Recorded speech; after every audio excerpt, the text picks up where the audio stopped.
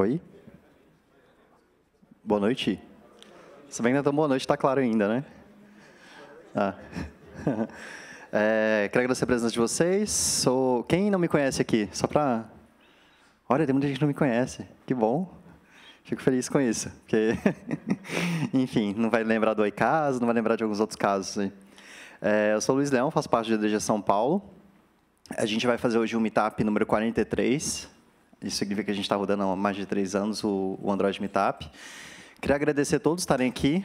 A ideia hoje é a gente falar sobre alguns tópicos que estão rolando em Android, algumas novidades. Quem está sabendo do Android Things aqui? Quer dizer, quem não está sabendo ainda do Android Things?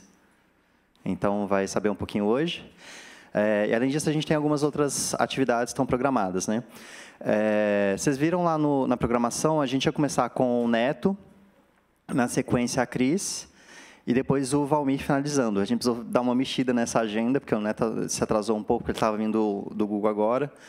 E aí a gente vai inverter, a Cris vai falar primeiro, tá? Na sequência vai vir o Valmir e depois o Neto finaliza.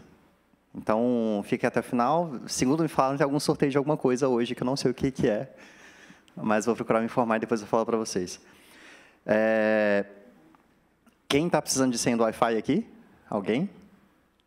Olha, é, a senha é work hard, play hard. Tudo minúsculo, tudo junto, sem espaço. Tá?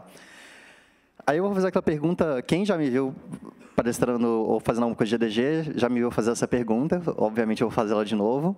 Quem aqui não sabe o que é GDG São Paulo? Vamos ver. Vamos fazer o teste. Todo mundo sabe? Beleza. Ah, primeira vez, hein?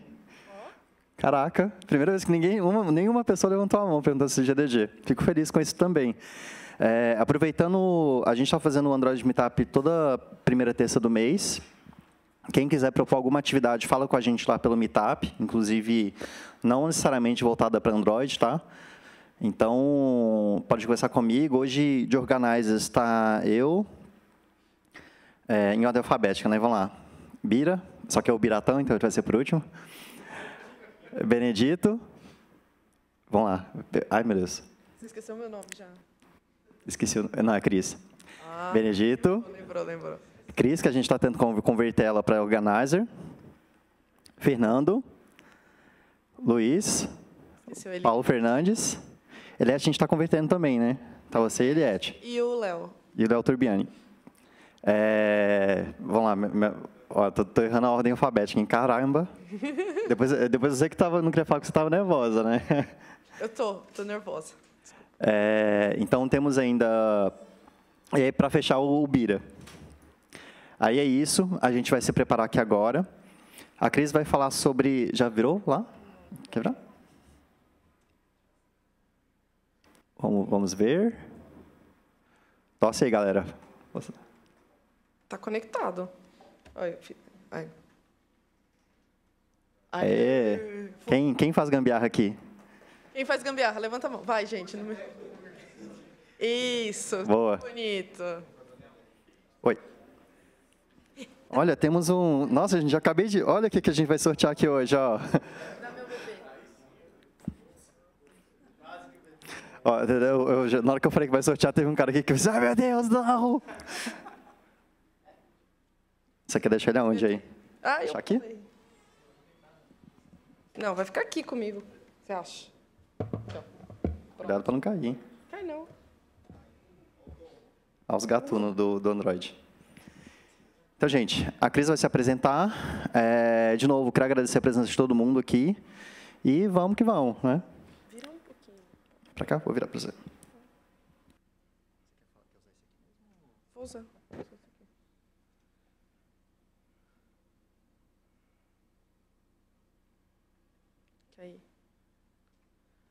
Boa noite, povo. Tá todo mundo acordado, veio direto do trabalho, né? Tá todo mundo meio. Ah, boa noite mais animada aí. Boa noite. Ah, tá melhor agora. Então, é, eu vou falar para vocês sobre gambiarra, né? Quem nunca fez gambiarra que delete o primeiro commit.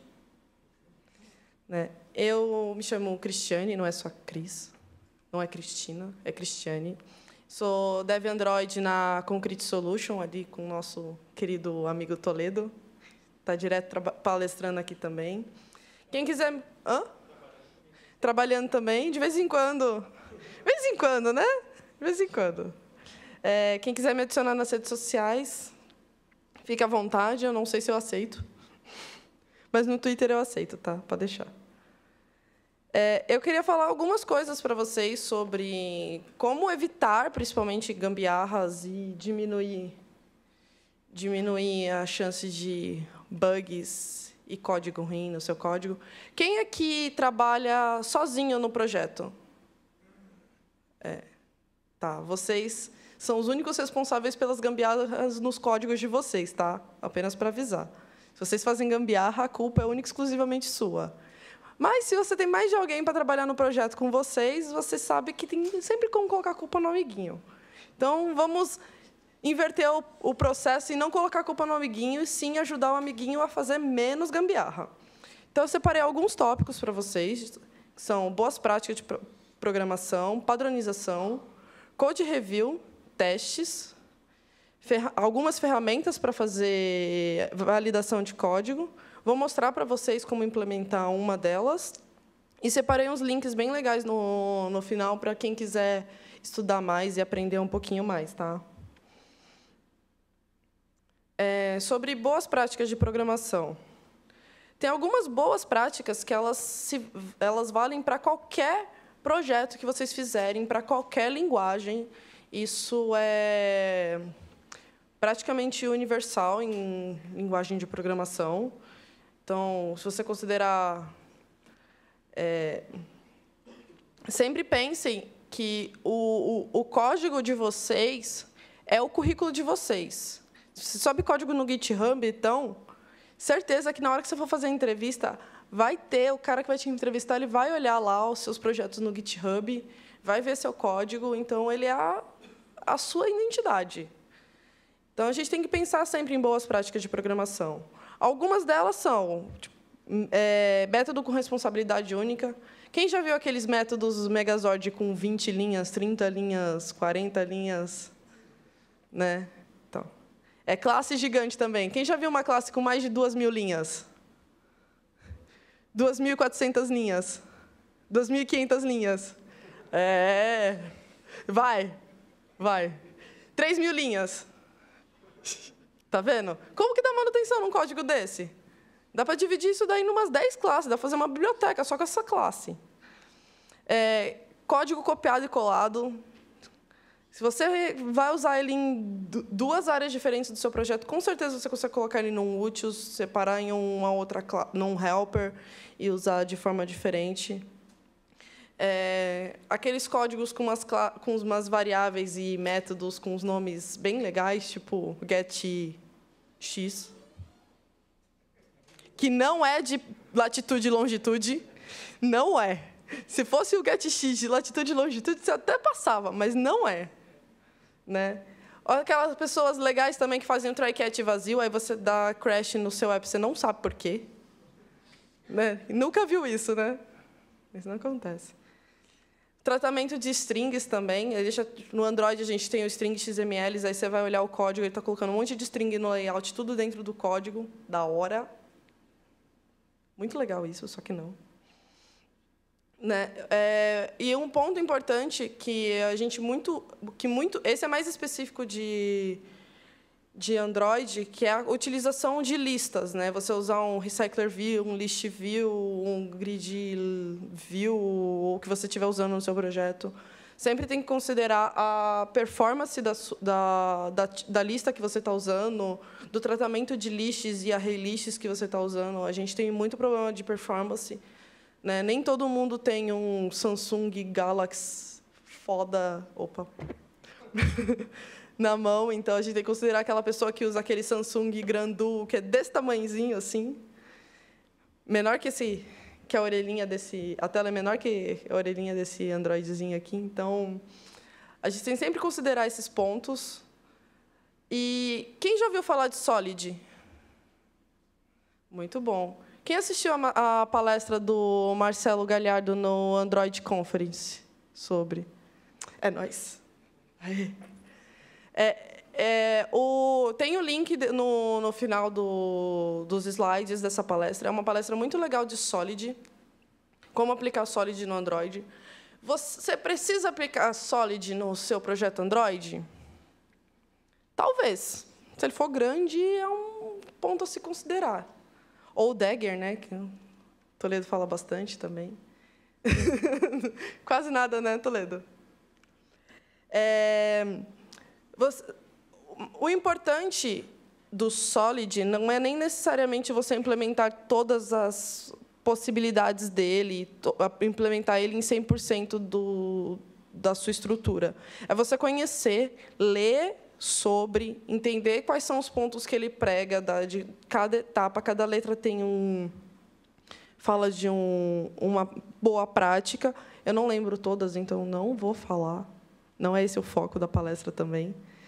É, principalmente, mas é entender quais são essas ferramentas e como você aplica isso no seu código, é, de, principalmente o conceito de complexidade, de separar a responsabilidade do seu código, de métodos, de classe, de diretórios, de tudo. Assim, você tem que deixar um código organizado, bonito.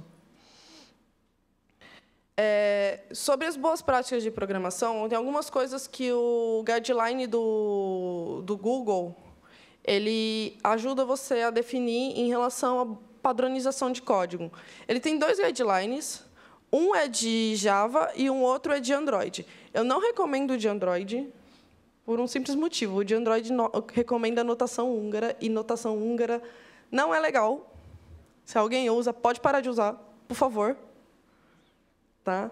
Então, vocês podem olhar, tem a documentação toda detalhada do, do guideline de boas práticas e padrões de Java que você pode colocar no seu projeto. E ele vai fazer.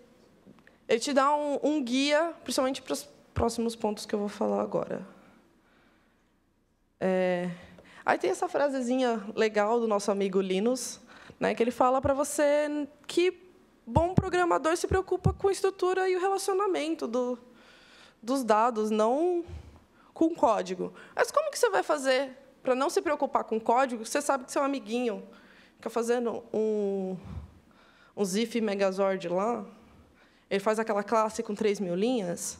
Como você não vai se preocupar com código? Né? Como você vai se preocupar com a qualidade do projeto em si? Com padronização. Aí você vai padronizar o código bonito, né? Vai fazer ele padronizado. Aí você lembra dessa situação aqui, ó. E aí? Quem dá certo? Tipo 1 ou tipo 2?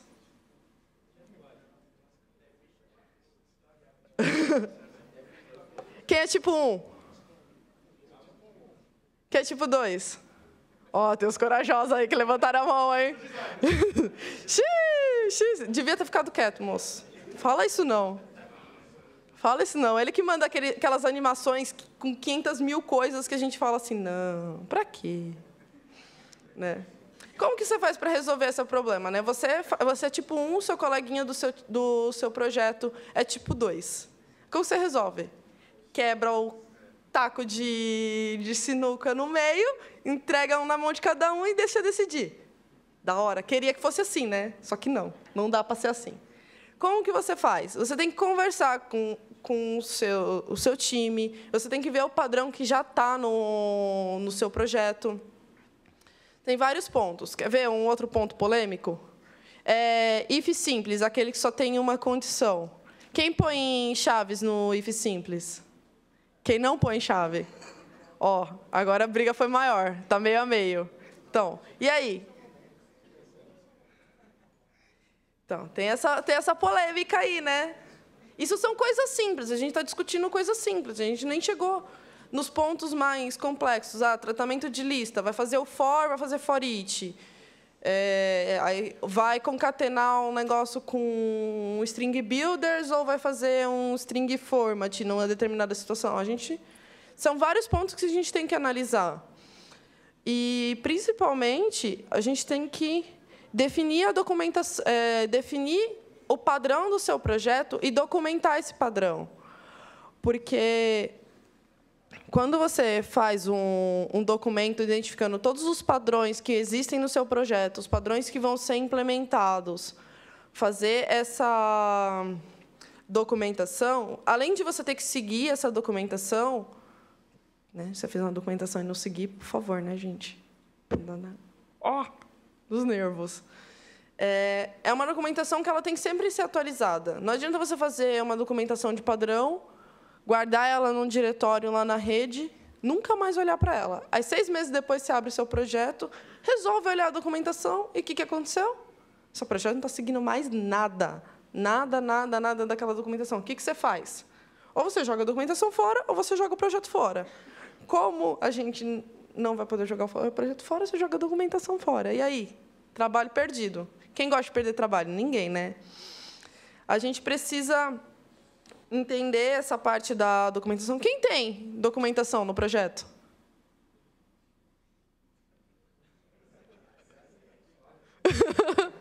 ó, salva de palmas pro Sica, ó.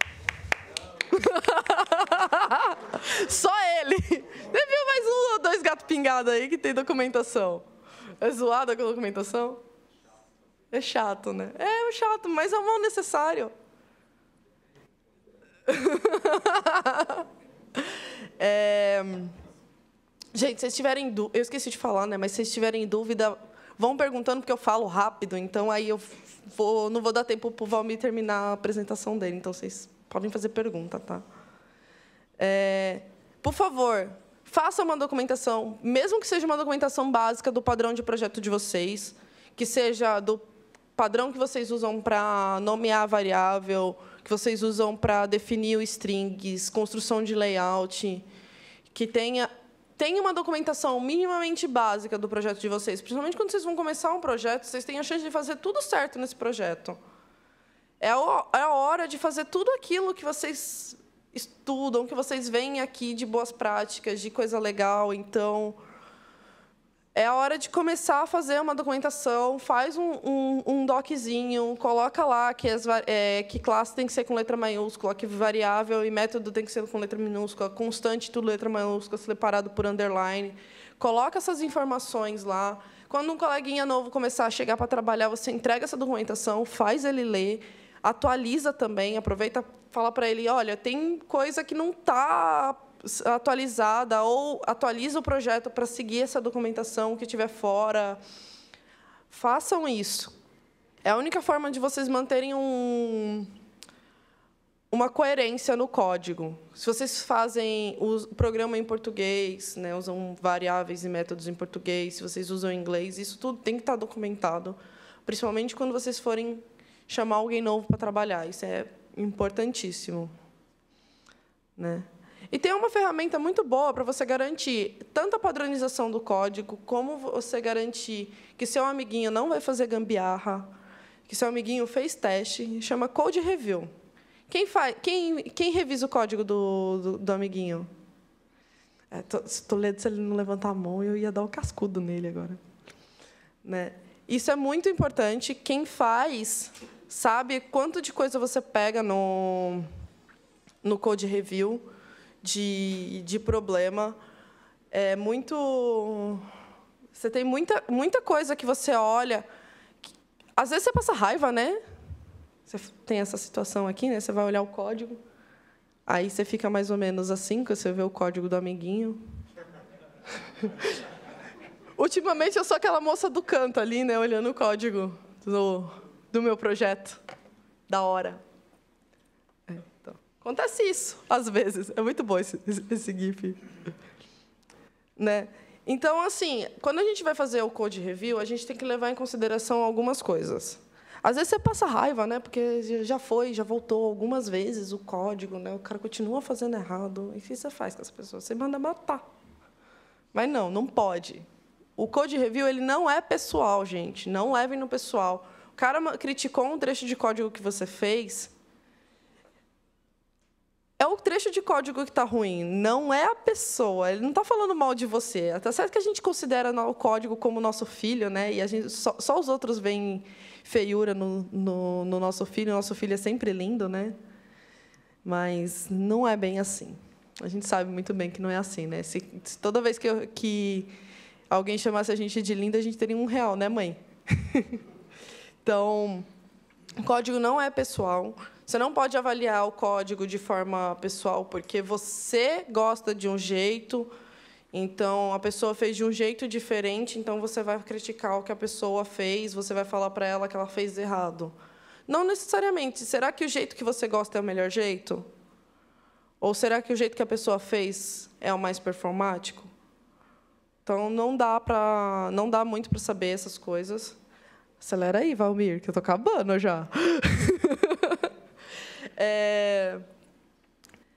Vocês têm tenham um checklist. Outra coisa que vocês precisam fazer quando vão fazer um code review é montar um checklist do que vocês avaliam no code review. Isso tem que ser padronizado. Você vai olhar questões de performance, se você vai olhar estilo de código, se você vai olhar se tem é, testes unitários ou não, se a estrutura do layout, se tem que ter, por exemplo, o layout de vocês tem que ter rotação de tela, tem que ter uma versão para tablet. Então, tudo isso vocês têm que colocar aqui numa documentação para as pessoas saberem o, o que você vai avaliar no code review. E tem um ponto importante que eu esqueci de colocar aqui no slide, mas é que quem escreveu o código não participa do code review. Porque a gente nunca quer que a pessoa altere nosso código, a gente nunca quer que eles critiquem o nosso código. Então, não participa. Em geral, não se deve participar. Você pode fazer um peer review também, é uma outra opção, mas primeiro faz o code review, levanta todos os pontos que você achou que devem ser melhorados, que podem ser modificados, que não estão com boa performance. Depois que você fizer isso, aí você chama a pessoa, se vocês têm essa oportunidade, que é a pessoa que trabalha do seu lado, você chama a pessoa, conversa, mostra os pontos, discute. Às vezes a solução que você deu talvez não seja a melhor solução e ela ache uma terceira solução além da que ela deu. Então, a comunicação entre os desenvolvedores no code review é fundamental. Tá? Aqui são algumas sugestões de coisas que vocês podem olhar no, no code review de vocês. Né? Algumas coisas que eu recomendo assim fortemente é vocês colocarem análise de performance, teste, segurança, principalmente se vocês têm informação logada de usuário, se às vezes é um app de compra, vocês precisam se preocupar com a segurança desses dados. Né? Boilerplate, quem nunca fez boilerplate na vida, né? faz aquele código gigantesco, depois você olha, você fala assim, dá dois dias você olha o código de novo e fala, para que que eu fiz tudo isso? Dá para resolver com duas linhas. Né? Se está usando as bibliotecas do seu projeto também, às vezes você coloca lá um Butter Knife ou um Android Annotations e aí você encontra uma pessoa que não está usando isso. Você colocou lá e ela não está fazendo, ela não não usou. Por que, que ela não usou? Ela achou uma situação específica que não que não está fazendo sentido naquele caso, que muito difícil, ou ela simplesmente não sabia usar e não colocou. Então a gente tem que analisar tudo, tudo que é possível para fazer o code review. É muito importante isso. E testes. Né? É, quem já viu alguma palestra de testes no Android Meetup? Bastante, né? A gente fala bastante de teste. Por que, que a gente fala bastante de teste? Porque teste é fundamental. Teste ele é o único que garante que uma situação assim não vai acontecer. Quem já viu esse, essa imagenzinha rolando no, na internet? Você vai lá, corrige o bug, aí você compila, é mais bug do que tinha antes. Você não corrigiu o bug, você está criando bug. Garante um emprego por um tempo só, tá? Assim, não muito. Até seu chefe resolver olhar seu código. Aí você tá ferrado, amigo. Mas o que, o que acontece é que quando você corrige um bug, o ideal é que você escreva um teste para validar esse bug. Por quê? Você vai corrigir o bug, você vai fazer o teste, Aí alguém vai alterar o código e vai gerar esse bug de novo. Com o teste, você garante que aquele, se a pessoa gerar o bug de novo, o teste vai quebrar.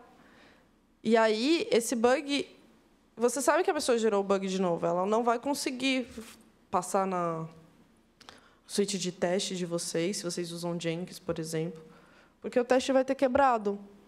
Isso é uma garantia que vocês têm. Quando vocês corrigirem um bug, façam um teste, seja um teste de expresso, um teste unitário. Vocês tentem fazer um bug, um fazer um bug não, por favor, não façam bug. É o nervosismo, gente, o nervosismo. É, não, é, não façam bug, por favor, corrijam bugs. Façam testes para essa situação, para que ela não se repita. Quem já teve aquele bugzinho que você resolve, daqui seis meses ele aparece de novo, né? O bug zumbi. Ou bug ex-namorado, né?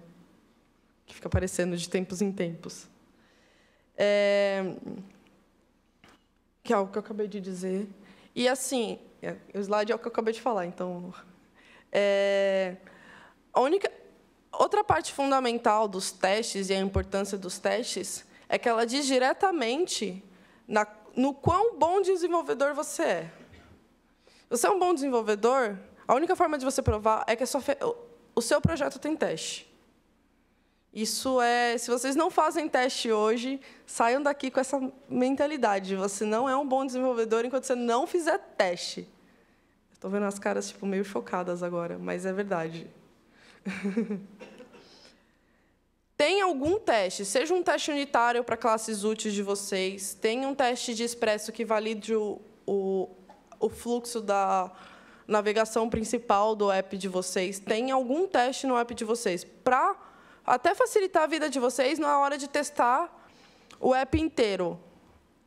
Você tem um teste que passa, pelo menos no, vamos colocar assim, no caminho feliz do seu projeto, você consegue garantir que ele vai que quando você rodar esses testes, você fez uma alteração grande, você vai rodar esses testes, se os testes passarem, significa que está tudo bem naquele, naquele, naquela situação. Então, aí você vai aumentando os testes aos poucos, mas sempre faça. Às vezes, se vocês não têm nenhum teste hoje, vocês vão desenvolver uma feature nova, já faz um teste para aquela feature nova. Já faz um teste para um, um, para um login. Quantas vezes você passa pelo login? Então, se quebrar o login, ou uma, a tela que vocês mais que o app é mais usada do seu app, faça um teste para essa tela também. seja, começa com um teste simples, com poucos testes que validem situações de sucesso. Depois você coloca a situação de erro, rotação de tela, o cara pegar o celular, chacoalhar, dar um pulinho, não sei, né? Aí depois você começa a fazer mais testes assim. Tem uma boa documentação dentro da, da parte de biografia da apresentação. Depois eu vou disponibilizar os slides para vocês. Tem uma boa documentação sobre testes com Expresso. Tem a documentação do Google também de testes, que é legal, dá para seguir algumas coisas lá. Então, depois vocês leem, é uma, até um está no blog da Concrete, que é a documentação. Que, eu esqueci o nome dele. Do Heitor. O Heitor fez, ele não está aqui, né? Não, está tudo bem. Fazendo propaganda da, da pessoa e ela nem está aqui. Sacanagem. E tá, você não quer fazer code review, porque você acha que vai perder muito tempo. Sua ferramenta tem testes, mas ainda assim tem gambiarra. Ainda assim tem aquele dev que cria variável com underline e não é constante. Tem algumas ferramentas no seu que você pode adicionar ao seu projeto que elas te ajudam nessa situação.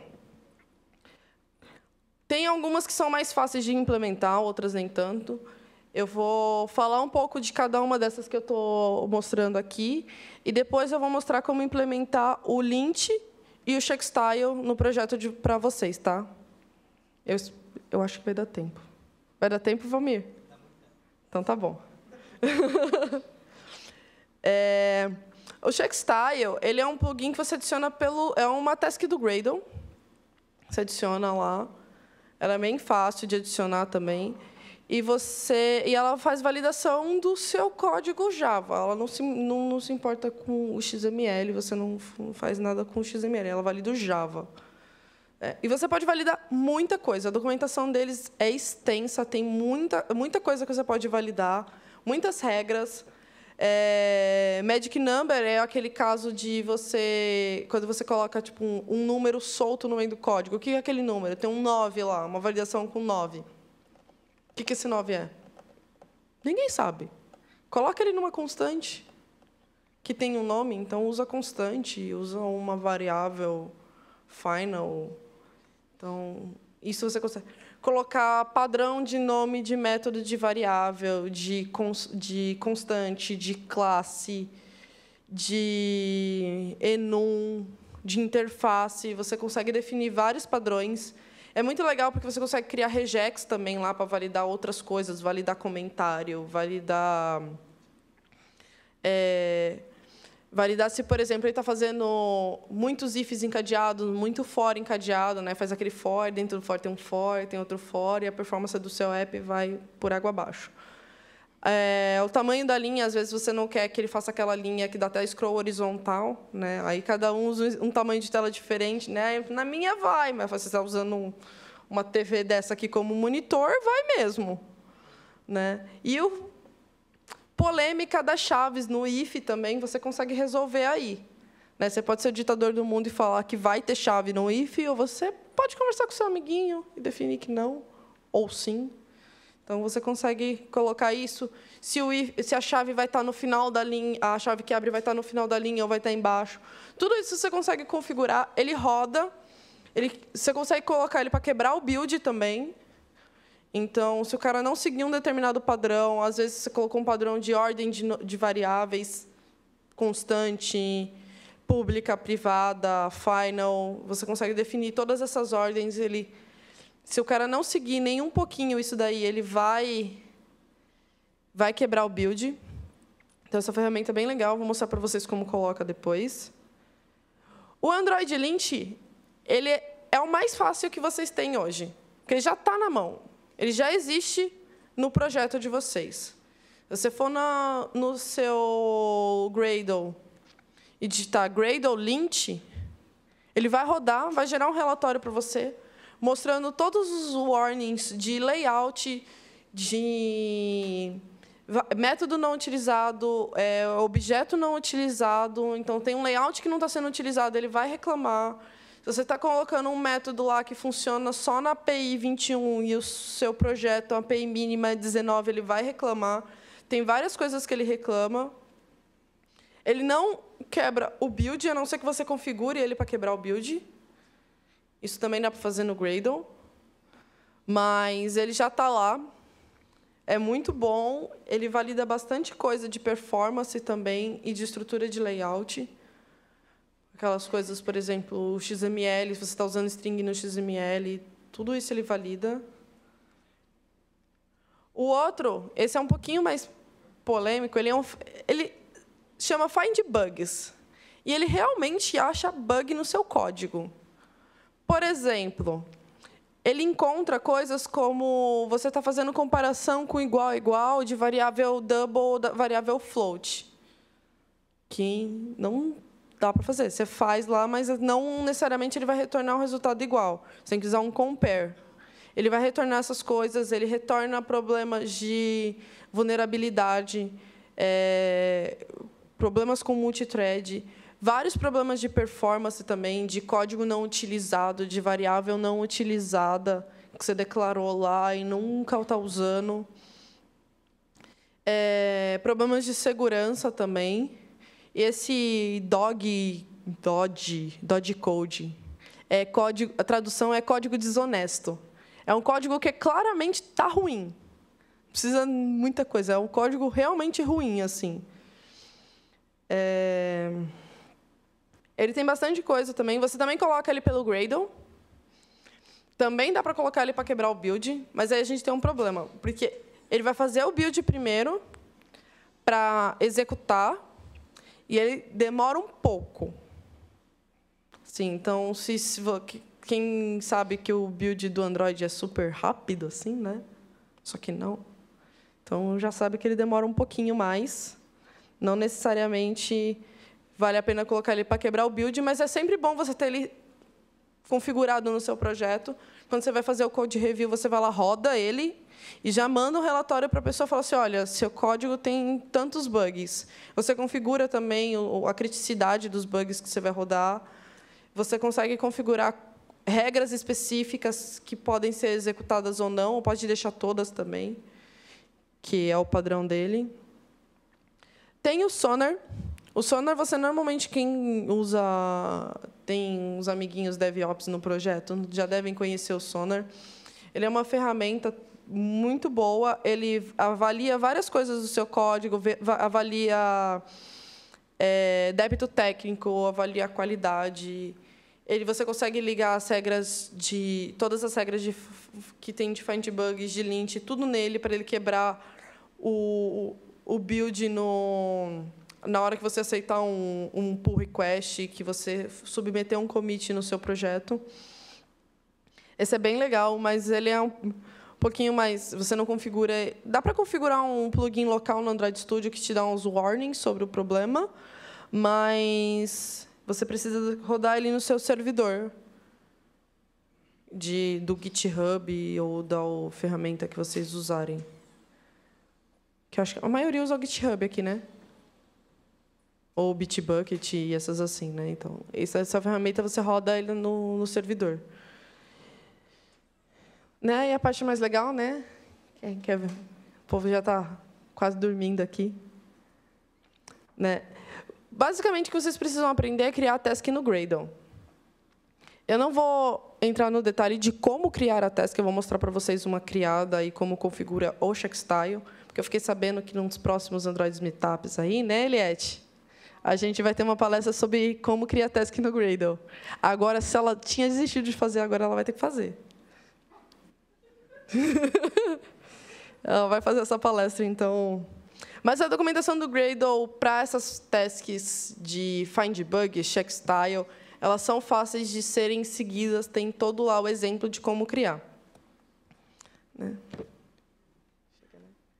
Então, eu vou mostrar aqui para vocês.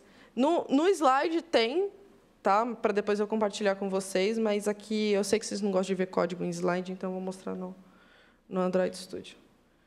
Que, que acontece? Ai. Ctrl.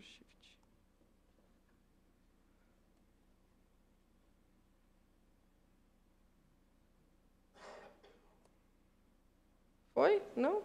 Ai, sei.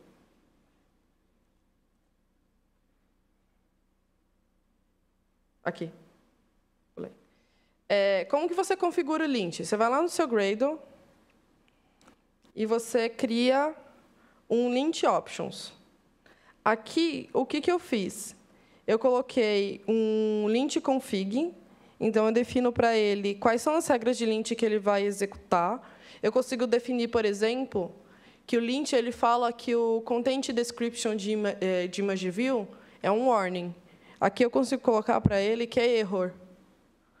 Então, eu consigo, ou, por exemplo, se você está usando Android Annotations, você vai ter muito problema com resource não utilizado. Você consegue colocar lá para ele ignorar esse resource não utilizado. E aqui eu estou falando para ele gerar um HTML bonitinho, um report de HTML bonitinho para mim, numa pasta de reports que eu configurei aqui. Tá? É...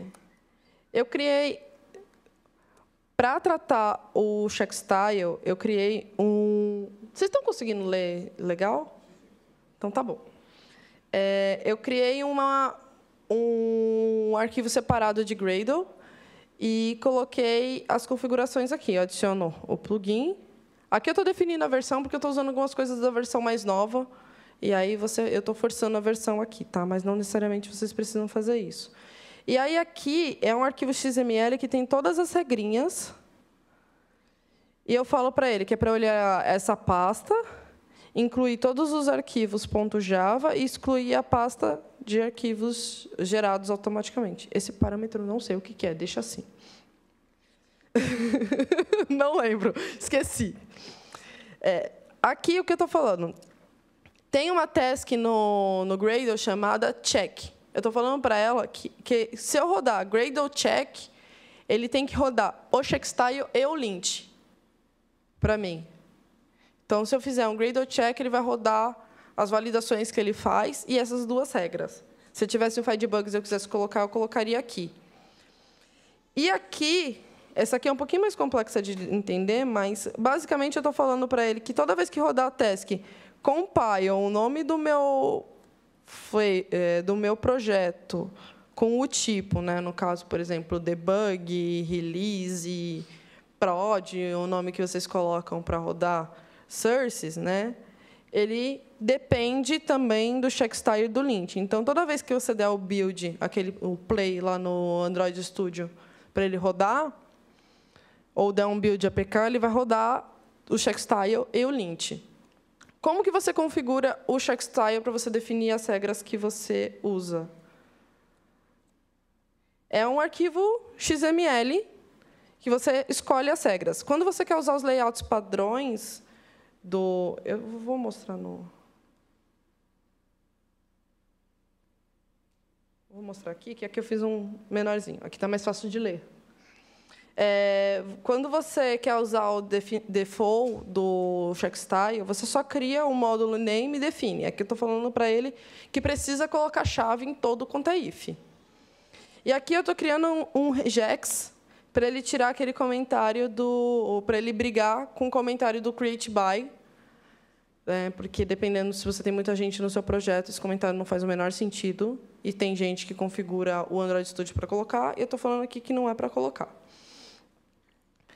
E eu estou definindo que você só pode quebrar em várias linhas se você se for no ponto. Então, o ponto ele é o separador de linha. Então, você vai colocar, abre e fecha as parênteses, outra linha, ponto. Se você colocar ponto, outra linha, ele vai quebrar também. Tem várias coisas. Aí aqui é só a regra do. E aí, beleza. Aí você configurou, aí você vai rodar. Aqui eu coloquei várias regras para mostrar para vocês. E... Cadê? Ai, senhor. É... Não, não é esse.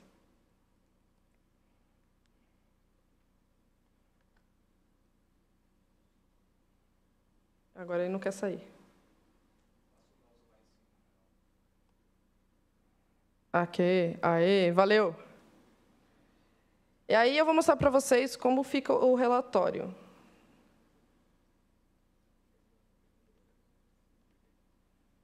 Esse, esse meme é muito bom.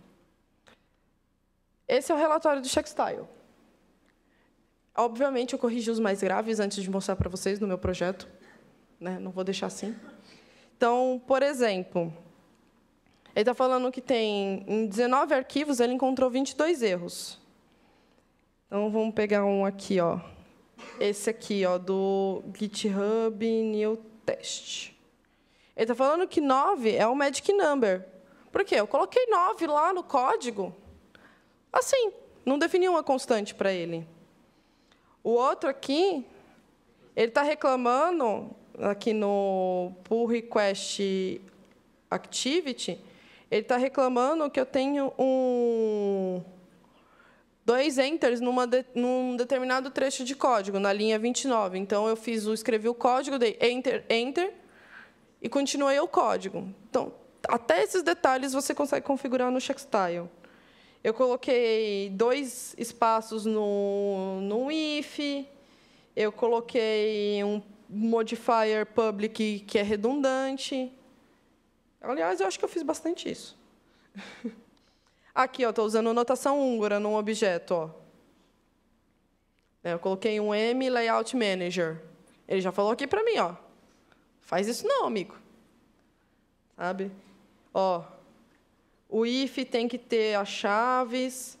Então, ele vai dando todos esses alertas. Aí, o que acontece? Você sabe qual que é o arquivo qual que é o erro, em que linha está acontecendo. Você vai lá e corrige. Quando você corrigir, você vai vir esse relatório, ele vai estar tá tudo assim, ó, zerado, que nem está nesse pedaço aqui. Ó. Certo? E o do lint, eu vou mostrar para vocês também, ele é um pouco mais feinho. Não que esse seja super bonito, né, mas ele é para ajudar você a validar o código. É, é, eu só não. Eu não, não eu, a, o Toledo está falando que a versão mais nova tá, tá bonitinho, mas não deu tempo de atualizar a versão para apresentação. E esse é o do Lint. Ele é um pouco mais feinho, está meio ali no canto.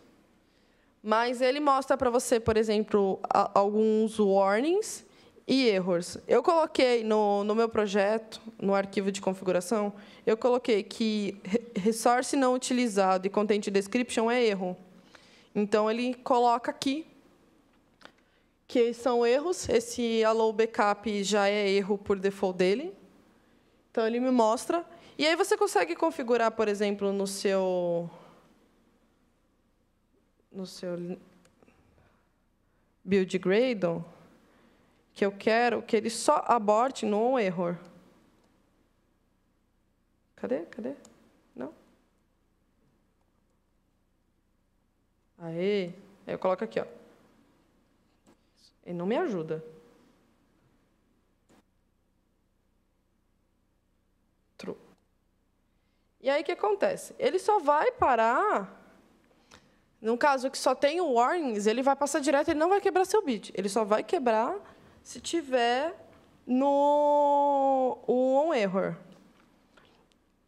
Então, eu vou fazer um negocinho aqui, deixa eu ver.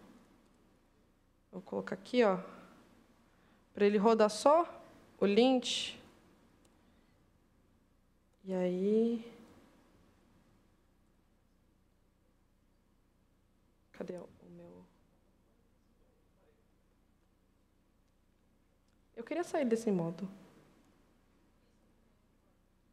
Ah, tem. É, eu apaguei um. Isso. Aí.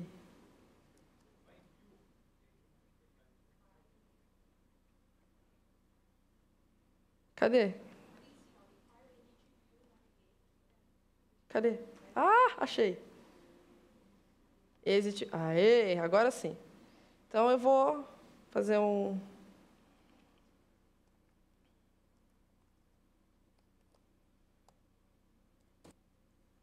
Ele vai rodar, demora um pouquinho. Eu espero que funcione. Eu testei isso hoje de manhã, espero que funcione. Sempre assim, né? Aí você vai fazer a... Funciona tudo. Você vai mostrar para o seu chefe, traga o rolê.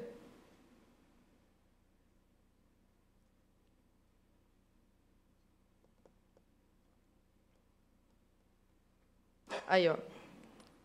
Ele reclama aqui. Ele dá essa mensagenzinha falando que o, o lint encontrou erro. E aí, se eu for aqui dar um F5... É, aqui ele não vai atualizar, porque ele vai mostrar o relatório inteiro. Mas ele só vai quebrar, como eu configurei algumas coisas com erro, ele só vai quebrar se tiver erro. Se não tivesse configurado como erro, ele não iria quebrar. Então, vamos voltar para a apresentação.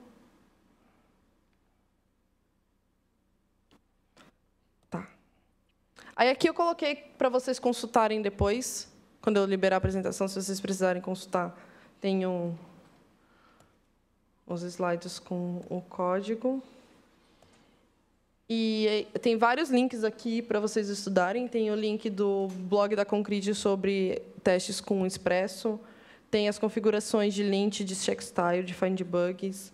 Do Sonar também, quem puder colocar no seu projeto é interessante.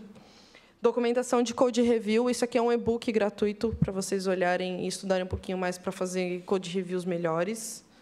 Tá? E a apresentação do, do Marcelo sobre Solid também, que é um conteúdo bem legal. That's all.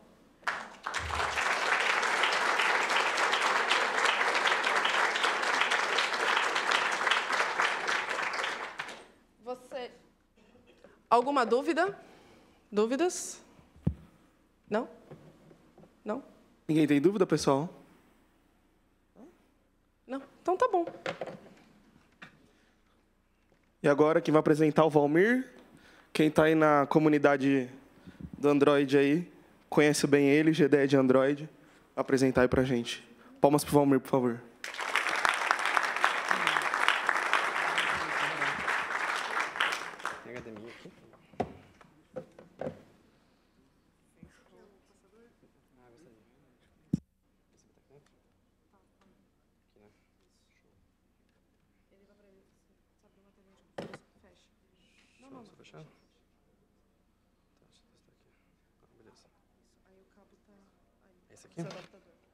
Precisa não, o também tá de boa. Só checar que está ok. Só um segundo, pessoal.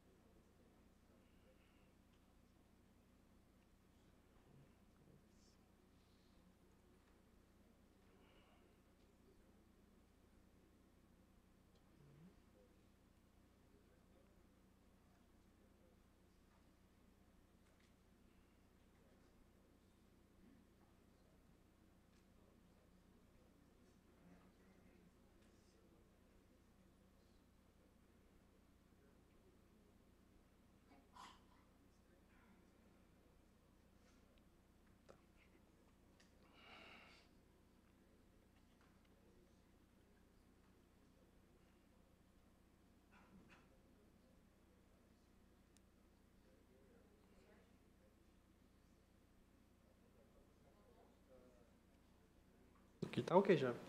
Não tá aparecendo lá não. Ah, foi, foi. Foi.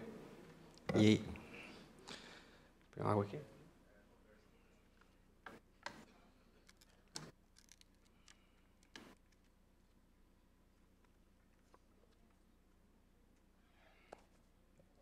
Só um segundo.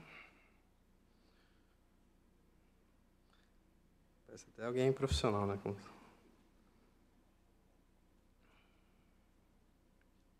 Bom, vamos lá. É, boa noite, pessoal. Obrigado a todo mundo que veio. É, queria agradecer a todo mundo que veio de verdade. É... Bom, boa noite, né? Boa noite. Noite barra tarde barra noite. É, bom, é meu primeiro meetup aqui, meu primeiro talk no meetup em São Paulo. Me mudei para cá tem dois meses, três meses, outubro. É. Mas eu já fazia bastante meetup lá no Rio, participava de bastante meetup, organizava e tal. Para quem não me conhece, é, eu sou o Valmir Carvalho, meu Twitter é esse. Quem quiser encher o saco, falar que eu estou errado, pode, pode ir lá. Tá? Eu trabalho no 99 hoje, tem uns dois, três meses. Eu sou do time de driver lá, que é bem legal, né? Porque a gente tem um squad voltado para driver, outro para passageiro, enfim, para marketplace, tem umas coisas do tipo. Eu organizava o Android Meetup no Rio, há um tempo atrás, só que eu não estou mais lá. Legal, né, o Android? eu sou também admin com aquele moço bonito ali, esse Carelli. No Android DevBR, admin barra criador, enfim, bastante gente lá. Temos, temos seis admins hoje, temos 2.200 membros. Quem é que tá no Slack aí? Levanta a mão. Ô, louco, ó. Porra, palmas, palmas, palmas. Pô, vocês me enchem de orgulho, cara. É, e desde o ano passado, de abril, eu sou Google Developer Expert de Android, junto com o Biratã, com o Marcelo Quinta, com o Nelson Glauber, o Lúcio, o Nelson Vasconcelos, que é de ideia também de Material Design, UX. E, enfim, acho que esse ano deve ter mais. É, é uma parada bem legal para engajar a comunidade, meio que vira hub de, de conhecimento com a galera, um negócio muito bacana. Então, se quiserem perguntar uma coisa também sobre o programa, é só falar. E, bom, vou falar um pouco hoje sobre mapa. Não especialmente sobre como fazer um mapa, como colocar mapas no app e tal, mas como a gente pode customizar mapas. Tá? Mas antes de começar, é, vou dar um pouco do contexto, né? Hoje, todo mundo usa mapa, direto ou indiretamente. Tipo, todo mundo. Você vai sair de casa, você usa mapa, você vai pegar um carro, você usa mapa. Você usa mapa para checar ônibus, você usa mapa para pedir comida, enfim. Toda hora você usa mapa. Seja com 99, fazendo jabá rapidinho aqui, mas... É, seja usando 99, seja usando Uber, que muita gente usa. Você hipócrita né, de falar que ninguém usa. É, seja usando coisas como Citymapper. Quem conhece Citymapper aí? Citymapper salva vida, né? o ônibus chegando e tal.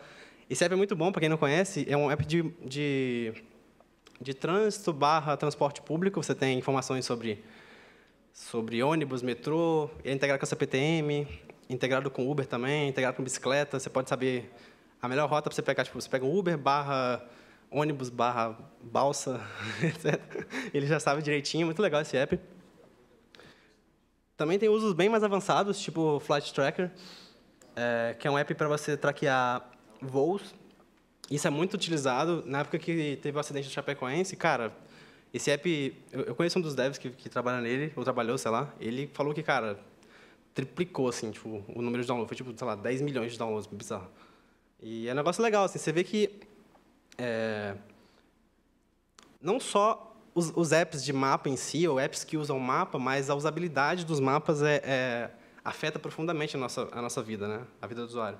Ó, se você for olhar aqui, ó, cada app tem uma cara. Né? Você vê que o Uber tem um brand muito mais parecido, né? o app tem mais uma cara do mapa, e, e você vê também que o, o app do, do Flight Tracker é um negócio mais parecido com o mapa cartográfico, mapa de, de avião e tudo mais. E cada, cada app tem um pouco da, da, da vibe né, do, da coisa. Assim. Você não põe aquele mapa aleatório, assim, né, solto. É... E por que eu falo isso? Que a UX do mapa é muito importante para a experiência do usuário. É, teve uma coisa que rolou há um tempo atrás, não sei quem viu isso aí, quem viu essa notícia aí? Do lance da, da mulher que estava usando o Waze, né? E aí o Waze jogou ela para um lugar e ela tomou um tiro, sabe? Tipo, eu, eu quis botar isso aqui, é chocante, mas é, é importante falar, porque, tipo, é, um aplicativo, cara. Tipo, ela estava usando um aplicativo e ela foi guiada por um aplicativo para um lugar que ela tomou um tiro, sabe? Tipo, não é nem culpa do Waze isso. É, atenção, é, é um mix de várias coisas. Não é culpa do aplicativo, obviamente, mas você vê que ela dedicou tanto, ou se esforçou tanto, talvez ficar focada demais na parada, que acabou tipo, esquecendo do, do senso de segurança dela, né? Então, assim, é... e não só isso, por exemplo, na época que saiu o Apple Maps, por exemplo, o Apple Maps era bem bom, né? Aquele... era maravilhoso. E aí tinha muita zoeira da Apple Maps, né? Tipo, The Amazing iOS Maps. Tinha umas paradas assim, tipo... Cara, não funcionava, não funcionava. Tanto que o, o, o sistema de metrô de... Cara, era ridículo. Quem, quem, quem, pegou na época? Eu acho, que você... Olha aí. Você vê, cara, a culpa de um mapa. E isso aí, na época, né, a Apple estava começando a entrar num mercado gigantesco de mapa, que já tinha, tipo, players gigantescos, como a Nokia, o Google. E aí eles fizeram a parceria com a TomTom. A TomTom ela é muito famosa com mapa no GPS de carro, né? Ela faz bastante mapa no GPS de carro. Mas ela não tinha muito background em GPS, em, em mapas para mobile e tudo mais, mapa tipo que você procurar na internet e tal. E aí a Apple meio que comprou a divisão, eu acho, se não me engano. E aí hoje eu acho que está no nível aceitável, assim, eles têm um esquema parecido com com Citymapper e tudo mais. É, é mais ou menos. é meio isso. Então, assim, é, hoje você tem bastante player mexendo com o mapa, o que é legal. Tipo, você tem vários, vários caras.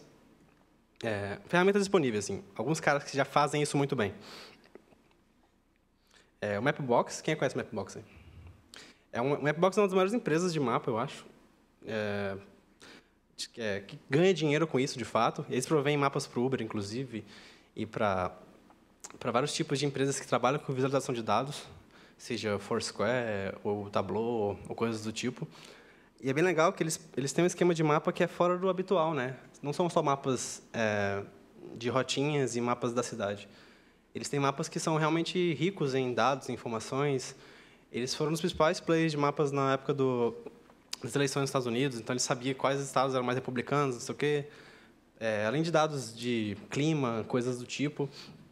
É, é, um, é um mercado muito grande trabalhar com mapa. E você vê que a UX dos caras é fantástica, né? Você vê que os caras têm um, um puta cuidado com o design é, para mapa. Né? Porque o negócio você fica assim, pô, só, só colocar um mapa lá, tipo, ninguém liga. Mas, o que eu falei agora há pouco, né? Tipo, a usabilidade é muito, muito importante. É, um outro player legal que tem também, que é muito conhecido também, é o OpenStreetMaps. Ele é bem popular e é open, o que é ótimo, ele é acessível. Ele também tem essa customização bem, bem rica que o, que o Mapbox tem, mas ele é open source, ele é gratuito. Tem acho que tem umas cotas pagas agora, porque ele ficou muito mais maduro, muito mais robusto.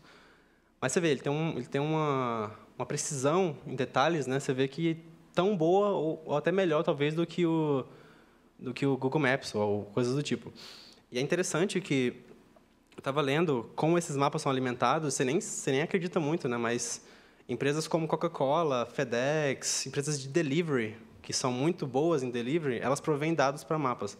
Então elas ganham muito dinheiro vendendo dados para mapa. Então, por exemplo, se uma empresa, se uma empresa tipo a FedEx, ela vai no lugar entregar uma parada que não tem um lugar lá, rota lá, ela vai traquear, traquear aquele lugar como não tem um mapa. Mas depois ela semana que vem abriu uma rua ali. Ela vendeu aquele dado para a empresa. Então tem mais uma ruazinha ali e tipo, o Google, a Nokia, eles não foram lá fazer. Eles só compraram um dado que já existia. Então eles só fizeram só o desenho vetorial. Então é bem interessante você ver como é que isso é construído, né? É, um, um, cara muito famoso também, que acho que é um dos maiores do mundo, é o, o da Nokia, que é o Nokia Here. É, eles são bem grandes e eles têm tipo uma base de dados absurda também por conta dessas coisas que eu falei, de FedEx, e Coca-Cola e como é, É bem interessante, assim. Você vê que eles provavelmente também dados similares ao Google, lance de 3D, é, mapas com rota de metrô, não sei o quê, cercas eletrônicas, geofences também, que é um negócio muito legal de trabalhar. Tá? E, enfim, é mais um dos players, né? Mas, bom... Ah, tá, desculpa, tem mais um também que é bem legal. Esse mapzinho é muito legal, cara. É, eu descobri isso, na verdade, procurando hoje, assim, né, uns caras. E eu descobri que tem um esquema de mapa meio, meio mapa impresso, sabe? Tipo, como se fosse aqueles mapas de jornal mesmo, mapa tipo de, de coisa, só que eles têm isso digital, o que é fantástico, assim. Você olha o visual, parece coisa, tipo, antiga, assim, é muito bonito. Eu acho que eles têm SDK para Android também, vou dar uma olhada depois. Então, assim, você vê que todas essas soluções de mapa que eu passei, elas já atendem. O Mapbox tem SDK para Android, OpenStreetMaps tem SDK para Android também. Eu acho que só o que não tem, eu acho que o RI também tem, acho que quase todos eles têm SDK para Android, que é legal. Só que um dos maiores problemas que se tem é tipo, cara, por mais que tenha diversas soluções de mapa e não sei o que, não sei o que, todo mundo usa o Google Maps, né? Porque está no Google Play Surf, você não quer botar mais uma lib, o Dex Count vai aumentar, você não tem muito, sabe? Tem aquela coisa, você não vai usar outra lib por questões whatever, de custo, praticidade, conhecimento de SDK, confiança também no que o Google está fazendo, enfim. Você não vai se escorar sua solução em outro cara. Então, o que, que eu faço? Né? Eu quero isso no Google Maps, como é que eu faço?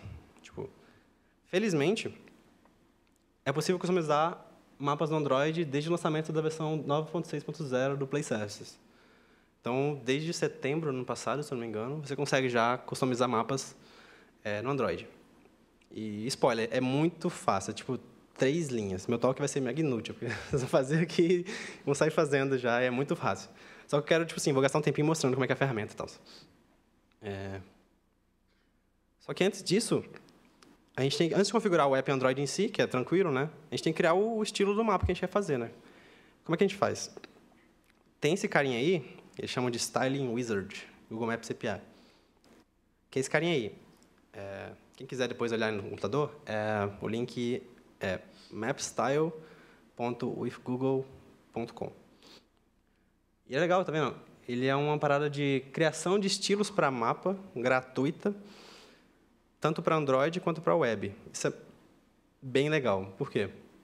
Você pode é, derramar o que você fez de branding, tudo que você desenhou e arquitetou, design, usabilidade, para o mapa também. O que você talvez pagaria no Mapbox, usaria uma outra solução, você pode usar também uma solução já do Google, que você já usa, você já confia. E o melhor de tudo é que não afeta o seu desenvolvimento. Você pode... Eu, eu vou fazer uma demo aqui, que eu fiz rapidinho, né? É, hoje no trabalho. Você consegue trocar temas dinamicamente, sem perder performance, sem perder tempo, e é bem legal, assim, bem interessante. É, você, cria, você vai lá nesse map, é, map, mapstylewithgoogle.com. Esse tem uma tela mais ou menos assim. Tá? Daqui a pouco eu vou mostrar com calma, né? mas só explicando um pouco. Você tem alguns templates de tema, né? Ele já te dá aí, Dark, não sei o quê, Silver. Tem um retro que é muito maneiro, se você fizer um app... Aquele app Field Trip, ele usa esse, esse tema retro. É um, é um app do Google de você é, olhar pontos, pontos famosos e você ver a história deles, é bem legal. E aí ele usa esse tema retro aqui. É... Enfim, você tem os temas, os templates prontos, né? Você pode definir o nível de critério, é, o critério dele, se ele quer um critério muito detalhado, com nome de rua, nome de viela, você pode deixar ele um pouco mais limpo.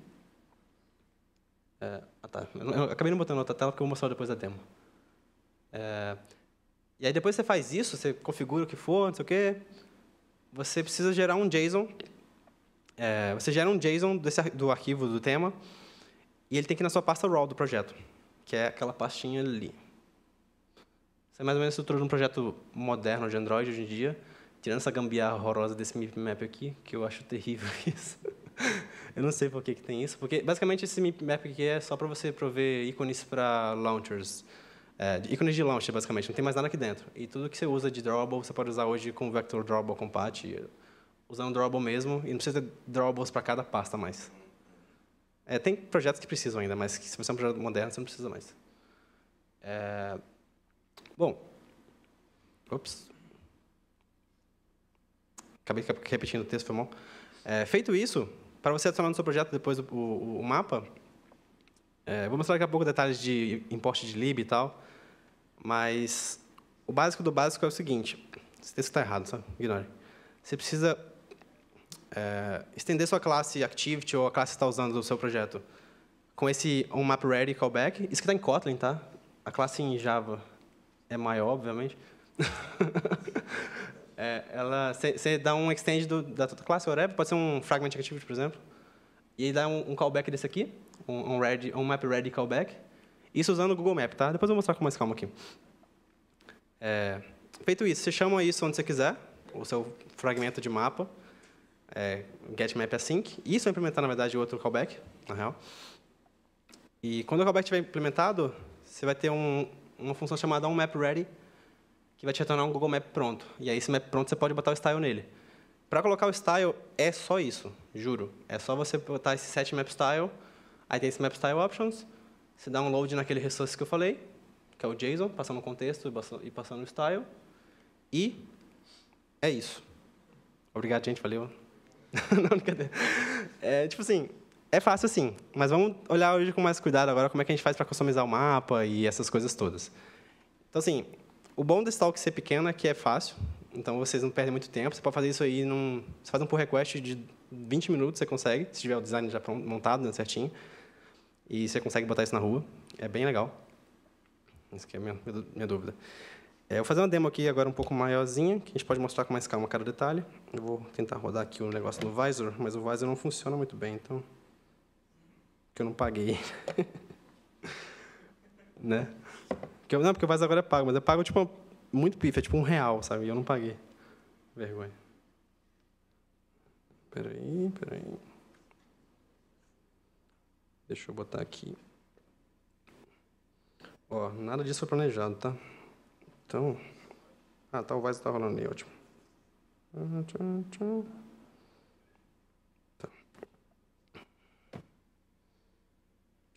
Deixa eu abrir aqui o Android Studio rapidinho. Deixa eu botar aqui no Presentation Mode. E no Enter. Só um segundo. Show. Conseguem ver aí? Show. Só botar um pouco para cá, peraí. Tem um anúncio da Vivo gigantesco aqui, peraí. Ups. Ignora vivo. Eu fiz um, uma demo aqui chamado Style de Maps. Aqui. Ó, eu tenho essa demo aqui. Conseguem ver? Ó, essa demo basicamente faz isso. Eu troco os temas. Né? Tem o Hello Campus, não sei o que, não sei o que, não sei o que. Tá, só antes de uma coisa, acabei esquecendo. O mais importante é isso aqui. Essa demo está open source. Quem quiser pegar essa demo, está nesse link aí, é, github.com barra Carvalho, barra Custom Styled Map Android, nome bem fancy, para parecer que é importante, mas é só uma demo, é só uma classe. Tá? É, essa demo faz basicamente o quê? A gente, tem três, a gente tem três, quatro styles ali, e quando eu aperto o botão, eu troco eles. É super simples mesmo, não tem mistério. Até sua mãe consegue fazer. Tipo, oh, desculpa, todo mundo anotou já? Todo mundo já pegou? Beleza. É... E é isso aqui, tá vendo? Eu tenho um tema retrô, aí eu tenho um tema silver, eu tenho um tema dark, trevoso. Basicamente é isso. Tá, como é que eu fiz isso? Vamos lá agora no, no meu Android. Show. Ups, eu estou no projeto errado, desculpa, estou mostrando o projeto da empresa. Lamentável. Tô mandando benzão, né? Pera aí. Presentation Mode. Fecha o projeto da firma, né? Vamos Aqui. Esse aqui que eu quero mostrar. Beleza. Ó, vamos lá. Eu tenho aqui... Deixa eu mostrar a primeira estrutura do projeto. Fica mais fácil de entender. É, lembra que eu falei que você tinha que criar o JSON lá, não sei o que, não sei o que, não sei o que. Na verdade, estou no caminho errado, né? Preciso mostrar o, o mapa sendo feito. Desculpa, gente, estou perdido. Vamos lá. Aqui. Aí, opa. Ó, esse aqui é o, é o tal do Google, Google Map Styling, vocês conseguem ver aí? Acho que sim, né? Gigante. Beleza. Então, antes de ir lá para o Android, vamos fazer com calma aqui. Ó, eu tenho aqui os temas prontos já. Eu posso usar... Alguns deles já estão lá no app, né? Você vê que é bonitinho pra caramba. Você pode usar a parada pronta e tal. É, você tem aquele nível que eu te falei de detalhamento. Você pode detalhar bastante as labels ou não. Acho bem legal, assim, meio hipster. É, tem uns bem legais, sério, de, de fato. Dá pra você ficar, eu fiquei tipo uma hora brincando nisso aqui, fazendo tema. É muito legal. É, beleza, lá eu tenho os três temas. Eu tenho esse retrô, o silver, o dark, e aí eu fiz um quadro aqui para a gente fazer junto. Yay! É... Então, beleza. Tem esses temas aqui, o standard é o sem graça, né? Então, vamos fazer um novo. É... Beleza, quando eu quero fazer um tema novo do zero, como é que eu faço? Eu vou lá em... Aqui, se eu fizer só aqui, não tenho nada né, de, de customização. É tipo, muito simples, usar os que tem já. Vamos fazer um tema do zero, né? E aí, ó, ele tem esse esquema aqui muito avançado de, de customização mesmo. Assim. Você pode customizar por região, por tipo de terreno, ponto de interesse. É, deixa eu scrollar mais aqui, peraí. Ó, tipo, rodovia, eu posso, eu posso ter via, tá vendo? Tá vendo? A via ali ficou amarela, posso trocar ela para rosa, tá vendo? Tipo, eu consigo customizar bastante o meu tema. Eu vou fazer umas, umas loucuras aqui, nem sei se vai ficar bom, mas eu vou mexendo aqui. É, enfim.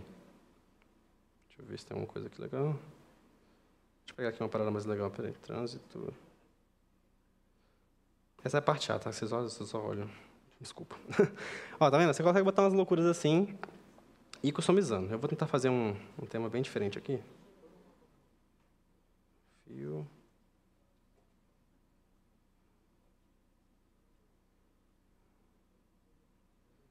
Não mudou nada, né? É, é, é difícil saber exatamente o que está fazendo, né? Porque tem muita opção aqui. Província, neighborhood, geometria. Não. Ah, tá, isso aqui, né? Tá. Landscape, man-made. Tá. É, não vou saber de fato o que está mudando, né? Não, porque nada, nada aparece, né? Tipo, excelente. Yeah. Aí, ó, mudou uma coisa aqui. Boa. Yeah. Conseguimos. Vou botar uma cor bem... Aqui, aí. Nossa. Nossa senhora, ô louco. Agora sim ficou, assim ficou show. Tá, eu quero mudar esse cinza ali, peraí. Enfim, fazer um tema bem esdrúxulo. Vai ser, vai ser isso aí. Não? Como é que foi que eu mudei aquilo mesmo? Tá. Road. Aqui. Aí, ó, boa. Fazer aqui uma parada bem nada a ver. Aí, nice. Tá bonito. Beleza, eu tenho meu tema aí. Gente, façam melhor, por favor. Peguem o design de vocês aí, façam juntos com ele e tudo mais. Beleza. Meu tema está pronto. O que eu faço? Eu vou aqui, dou um finish aqui. E esse finish dele me dá um JSON. Tá? Eu vou abrir esse JSON para a gente ver com mais calma. Eu vou criar um arquivo com esse JSON lá na minha pasta raw do meu projeto. Deixa eu só tirar aqui o modo Distraction Free. Tá, eu vou criar aqui mais um arquivo. Tá? Uh, file. Style. Louco.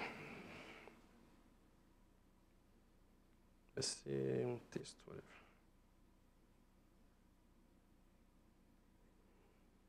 Peraí, fiz besteira.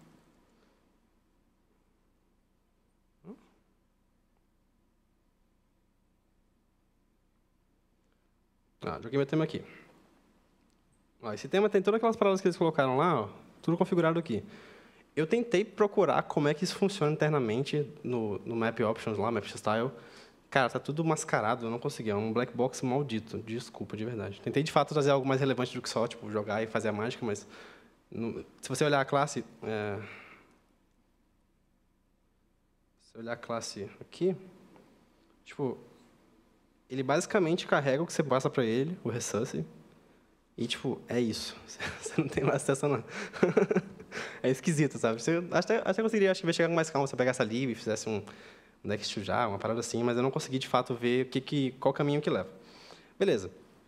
Eu tenho um style aqui bem louco. Eu vou testar se ele funciona aqui só, chamando ele lá no meu, meu, meu código, tá? Basicamente, isso aqui, o meu estilo. É lá no meu Map Activity, Ó, peraí. Gente, está em Kotlin, tá? Não assusta. Eu estou nessa modinha hipster do Kotlin. Tá. É... Basicamente, eu tenho o seguinte. É, aqui eu tenho minha, sei é, minha besteira, que eu ponho só um título tosco. É, o meu setup mapa é importante. Ó. Esse método aqui, o getMapAsync, esse cara que chama esse callback aqui. Ó. Show? Entendido? Beleza. Esse callback aqui bate nesse cara aqui, ó, onMapReady. Tá? Esse Google Map.apply é basicamente o Google Map.set, não sei o quê, Google Map.set isso. É para ele não ficar repetindo a variável, você dá um apply, ele aplica tudo que está usando na mesma variável para todos. Isso é uma mágica do Kotlin. É, ó, tá vendo aqueles botões lá que eu coloquei? Isso aqui, é, não, de trocar aqui, eu basicamente troco, eu seto o style e jogo um toast. E eu descobri que tem como centralizar toast, isso é fantástico.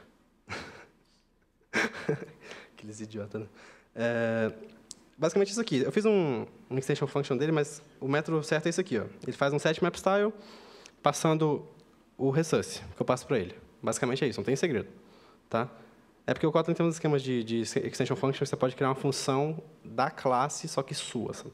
Então você cria uma, eu fiz uma função custom do Google Map que chama, que faz um toast, a linha e carrega o, o resource. Mas assim, a sintaxe não importa muito. E aí, ó, esse cara aqui são os três que estão chamando os temas certos, né? Tá vendo? Esse tema aqui é aqueles styles todos lá do, da minha pasta, super simples. E eu vou chamar esse quarto aqui da mesma forma. Deixa eu fazer aqui. Set map style. Set map style, passa o contexto. É, ponto raw, style louco. Ops, está errado. Falta o tosh, isso. isso. Louco. Opa, tá errado. Tá certo isso aqui? Ah, tá, é vírgula, VGG. Yay! Tão louco que eu não vi. É, beleza. Mais um deles. Eu não testei não sei se vai rodar. Vamos lá. É, eu espero que funcione, porque na prática está bonitinho. E, tipo, você vê que não tem muito segredo, né? É um negócio muito, muito trivial, assim. É... O mais legal disso é ser dinâmico. Então, você pode, por exemplo, ah, baseado na hora do dia, botar o tema escuro. Então, baseado na estação do, sei lá, primavera, verão, outono inverno, você muda o mapa. Cara, a aplicação é infinita, assim. E fica bem legal, porque a usabilidade melhora bastante. Dependendo, por exemplo, se eu estou lá com dirigindo dirigindo para o 99, sei lá, Uber, à noite, abre uma tela branca, pá, Tipo, é horrível, né? Se fosse um mapa escuro, fazia muito mais sentido. Então, assim, é, nesse, nesses aspectos é legal ter um mapa customizado, porque você pode tratar ele conforme a necessidade, né? Esperar buildar aqui, gente. Vocês podem tomar um café e... um, dia, um dia acaba. Alguma, alguma pergunta sobre o fluxo inteiro? Alguém tem uma pergunta sobre, sobre o que eu fiz? Ficou claro? Ficou confuso? Mapa estático, você diz tipo aqueles do, tipo aqueles do então, eu não sei, eu não, chequei se ele funciona com, com esse esquema de tile, de mapa estático. Eu acho que não, porque todos os mapas é, são dinâmicos e são vetoriais. Então, eu acho que só o mapa... Ô, louco, funcionou. Espera aí. Que emoção. Olá. Aê! Ó, então, beleza. A gente carregou nosso tema retrô, nosso tema silver, nosso tema dark e o tema louco. então, assim, você vê que eu fiz isso em 10 minutos, sei lá. 12. Falta... É, eu fiz isso em 10 minutos. E é legal porque, tipo, funcionou muito bem, né? Você vê que tudo que você fez lá de, de porcaria ficou aqui. então, assim, é... enfim, acho que o assunto mais importante desse talk é usabilidade de mapa importa e o Android consegue agora tratar isso de uma forma boa, que é customizando mapas, estilo de mapas. Então, assim, isso que eu fiz aqui é terrível, mas você vê que, tipo, um mapa desse aqui, ó, é legal, sabe? Você, vê, você tem um mapa que você pode, tipo, deixar ele um pouco mais escuro, mais a ver com a cara do teu app. Por exemplo, tem um app chamado Hotel Tonight, que ele é todo escuro, ele é todo preto e roxo, assim. Não faz sentido botar um mapa branco nele, fica feio. Ou não vou usar outro serviço, pagar só por causa do mapa. Então, nesse caso, atende. Então, assim, ou então aquele field trip mesmo, né? Esse app aqui, ó.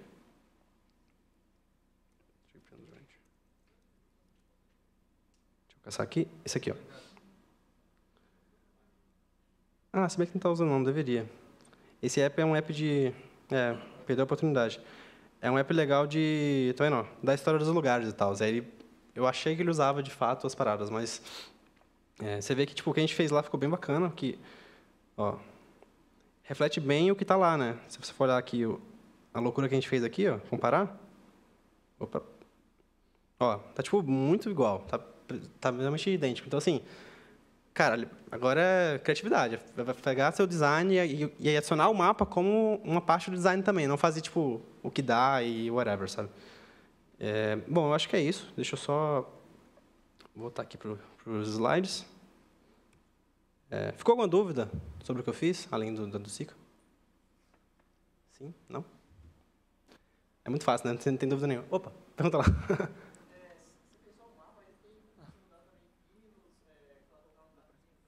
Então, isso, isso já tinha, né? Isso já tinha no, no, no, app, você pode customizar a marca como você quiser.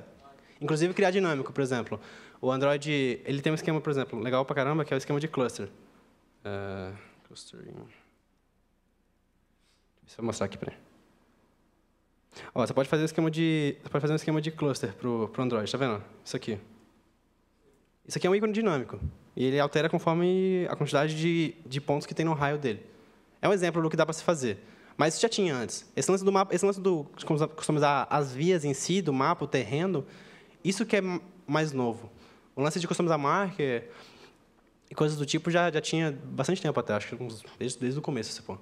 Mas, assim, é, é, bem legal que agora, tipo assim, tá mega flexível. Você pode usar o que você quiser, sabe? Isso é, é possibilidade infinita, né? Mais alguém? O tipo de customização que a gente vê no Pokémon GO, Waze, é mesmo recurso ou é algo mais avançado? Então, cara, esses apps são feitos de forma diferente, assim. Por exemplo, o, Waze, ele é muito... Eu até estava falando com, com o Gabriel hoje no, no, no carro. Ele usa OpenGL, ele usa tecnologia de jogo mesmo para fazer mapa, assim. É um negócio muito mais avançado. Eu acho que usa por baixo dos panos, sim. Mas esse, essa ferramenta, especificamente, ela não atende essas necessidades. Porque é um mapa muito maior, ele é feito para ficar maior na tela, você consegue, tipo, se sentir navegando no, no, no mapa, né? Você abre o Waze, é gigantesco, assim. Esse caso, especificamente, para o SDK do Android, já está disponível. Você pode customizar um mapa que já existe. Mas esses mapas que, tipo, o Waze tem, a gente não tem disponível para desenvolvedores normais hoje. O Waze fornece um SDK, mas só para informações de rota, de ETA e coisas do tipo. Mas você não tem acesso a esse mapa maneirão que eles têm, não. Tipo, 3D, o escambau. É, não assim, mas o, por um Pokémon GO, que tem aquele visual diferente só. E ele usa Unity, né, para para fazer. Uhum. Mas assim, o que é pior no mapa não é tanto o desenho, mas a informação mesmo, coordenada.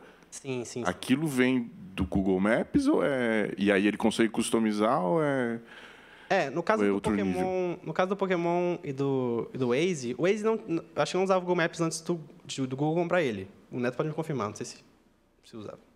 Não posso confirmar. eu não sei. O Google comprou o Waze e aí os dois se casam muito bem. Eu não sei se um usa o outro mais agora. Sei que um depende muito do outro. É, só que eu acho que o Pokémon talvez use sim, cara. Porque a Niantic, é a empresa que fez o Pokémon, ela é uma meio que incubadora dentro da, da, do Google, sabe? É uma empresa do Google X, né? E eu acho que com certeza vão usar. Eles não vão fazer uma parada fora, sendo que tem um, uma puta estrutura de mapa dentro da empresa gratuita, sem limites, né? Ou com limites que eles controlam, né? Então, assim, eu acho que deve usar o Google Maps, mas talvez um SDK para Unity, algo do tipo. Não sei se usaria diretamente esse aqui. Sacou? Beleza.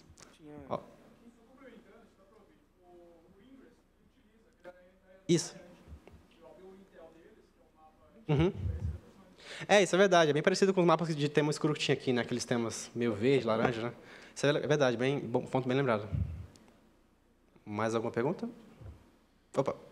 É, a minha pergunta é o seguinte: é, o, a gente desenvolve aplicativo atualmente, né? A gente sempre desenvolve para Android e a gente tem, sempre tenta desenvolver para o iOS também. Sabe me dizer se isso está disponível para o iOS? Então, aqui, quando você vai exportar o, o, o JSON, ele fala Copy and paste your JSON in your app ou website code. Eu não sei se o SDK do, do iOS suporta isso. Tem SDK do iOS do Google Maps para iOS já, há um tempo já. Só que eu não sei se suporta. Só que também a galera de iOS não usa muito. Usa mais o da Apple mesmo por motivos de não ter cota e o escambau. Né? Tipo, os caras não vão usar a parada que tem limite, por exemplo. Por exemplo, lá no 99 a gente usa o SDK do Google, só que, tipo assim, cara, é muito, é muito request. Tem uma cota de 10 mil, ou sei lá, 100 mil que se você bater, você ferrou. Então a gente tem que cachear, fazer um monte de truque para poder suportar. Então, assim, eu acho que a, galera, a boa parte da galera que, que trabalha com iOS não usa, mas eu posso dar uma investigada depois e te responder. Qualquer coisa pergunta no Twitter, coisa do tipo. Eu acho que talvez suporte sim, cara, porque ele, ele não está especificando Android aqui, ele fala app ou website, então acho que talvez suporte sim. E, pelo jeito, é uma solução que, pelo menos internamente, o Google Maps parece ser a mesma coisa para iOS e Android, em termos de performance e tal, então acho que a solução técnica talvez seja a mesma, não sei. Acho que é isso. Mais alguma dúvida, pessoal? É, Antes de fechar, só queria só passar umas paradinhas rapidinho. Tranquilo. Só um segundo. É, quem tiver alguma dúvida, obviamente, pode falar comigo lá no Twitter. Eu estou lá sempre postando besteira e, enfim, pode perguntar. É, quem também não participa do Slack é muito bem-vindo. A gente tem esse canal no Slack, que é a maior comunidade brasileira de Android no Slack. Acho que tem 2.200 devs e designers e gente de fora, gente que fala português. Tem gente de, de, Moçambique, por exemplo, gente da Argentina, tem gente de vários lugares. A gente mandou sticker para a Argentina esses dias. Ah, a gente tem sticker também lá, quem quiser pegar sticker lá, só pedir. É... Eu estou começando com o pessoal da 99 um meetup de Kotlin. Quem quiser participar, esse é o link. A gente não tem nenhum, nenhum meetup marcado ainda, por falta de... Enfim, de, quem quiser palestrar, falar, por favor. Está faltando gente para falar. Porque, assim, como Kotlin é uma parada muito nova, muita gente não conhece e tal. Então, quem tiver interesse, quem estiver brincando com Kotlin, quiser falar, quiser mostrar o que está fazendo, vamos lá, junto, fala com a gente. É... E é isso. Muito obrigado.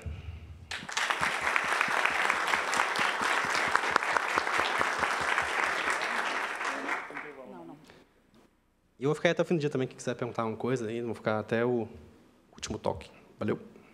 Boa, Valmir. Valeu. Muito ah, beleza. Obrigada. Agora nós teremos a apresentação do Neto Marim. É, acho que dispensa apresentação, todo mundo conhece. ah, e quem quiser sticker do Android DevBR, eu tenho aqui uns 10?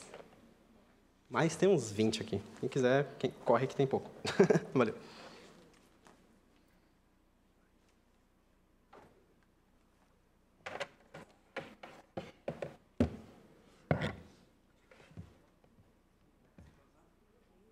Pode deixar.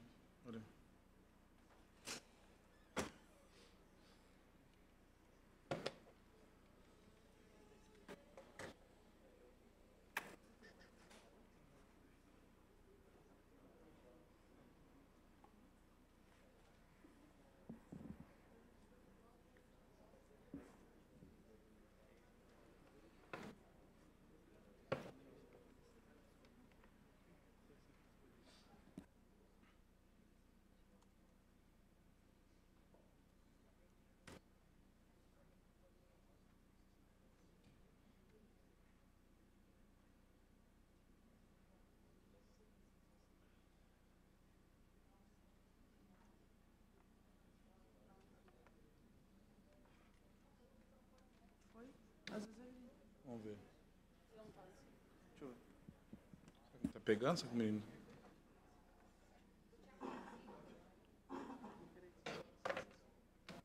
Vamos ver. Tá conectado? Tá. Vamos tentar o adaptador.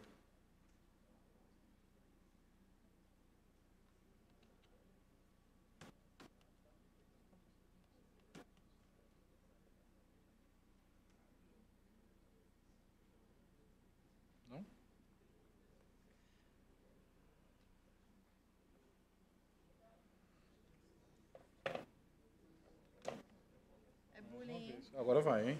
Piscou, aí. Aê! Uhul. Agora foi.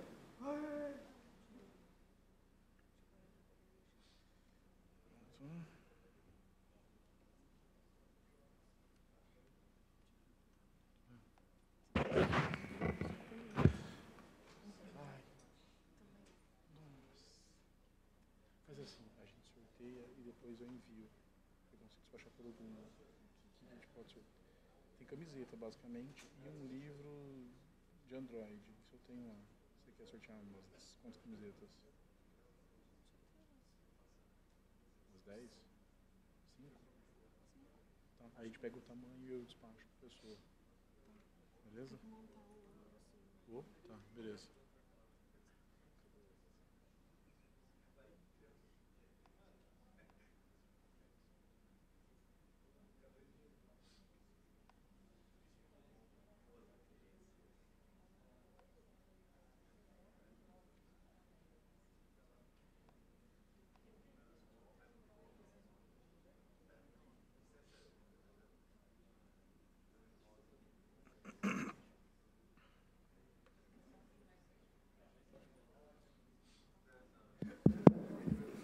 E aí, galera, boa noite.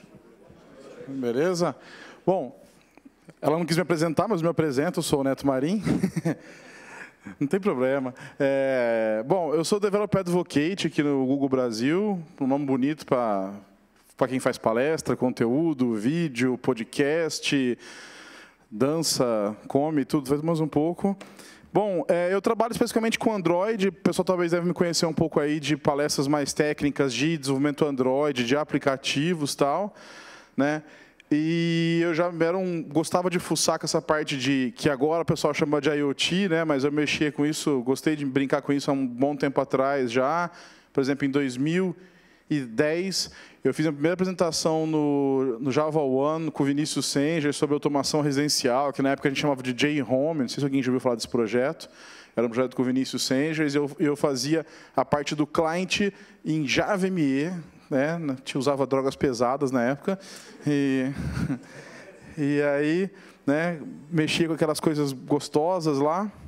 E acabei que não, não fui muito para esse lado da automação, fui mais para o lado de aplicativos Android. Mas aí o Google agora. É, quem já leu alguma coisa sobre Android Things, viu alguma coisa?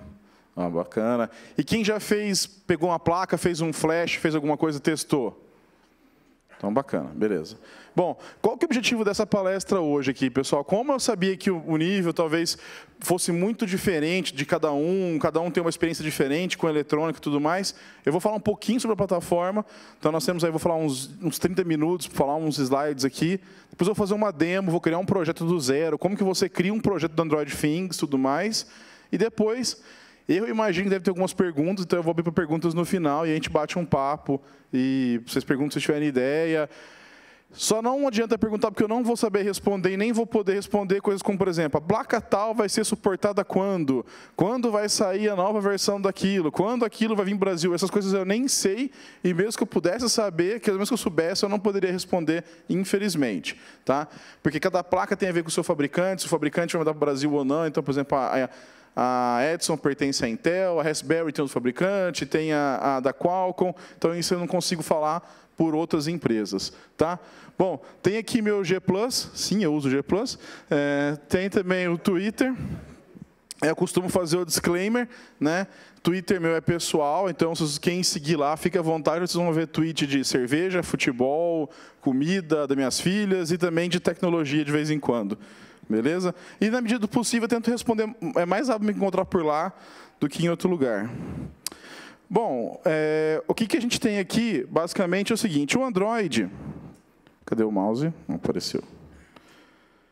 Bom, o Android a gente já tinha, começou lá em 2005, né, como uma plataforma para dispositivo móvel, Aí depois, em 2007, foi anunciado a primeira plataforma, o primeiro telefone, saiu o telefone em 2008. Depois a gente tem evolução para os relógios, né? Então você tem é, o Android Wear que apareceu há alguns anos atrás, sendo a versão mais renovada agora, com vários é, novas funcionalidades. Depois a gente tem o Android TV, né? Uma, uma plataforma que enfim, fabricante de TV em geral não são muito bons com software, né? Então a gente falou assim, ó, usa o nosso aqui, que é bacana, né? E desculpa se ninguém da Samsung, LG, mas enfim. É, e a ideia é que, que esse pessoal use os nossos softwares, né? Uma plataforma unificada com muito mais aplicativo, que facilitaria para nós desenvolvedores. Você faz aplicativo só, roda na Samsung, roda na LG, roda na Sony e por aí vai. Bom, além disso, depois a gente tem a parte do Android Auto, né? Então você pode ter carros que, que são compatíveis com Android ou são compatíveis com iOS. E hoje, mesmo que o seu carro não rode o Android, o Android Auto, por exemplo, você pode instalar o aplicativo e pôr ele em modo alto né, e usar isso no seu carro. Afinal, a gente já faz isso há muito tempo atrás, né? Colocava lá o telefone nos negócios do Xing Ling lá, ia dirigindo, né? Então agora que tem um modo ficou mais fácil do que você ficar vendo a tela lá e olhando para cima, então ajuda.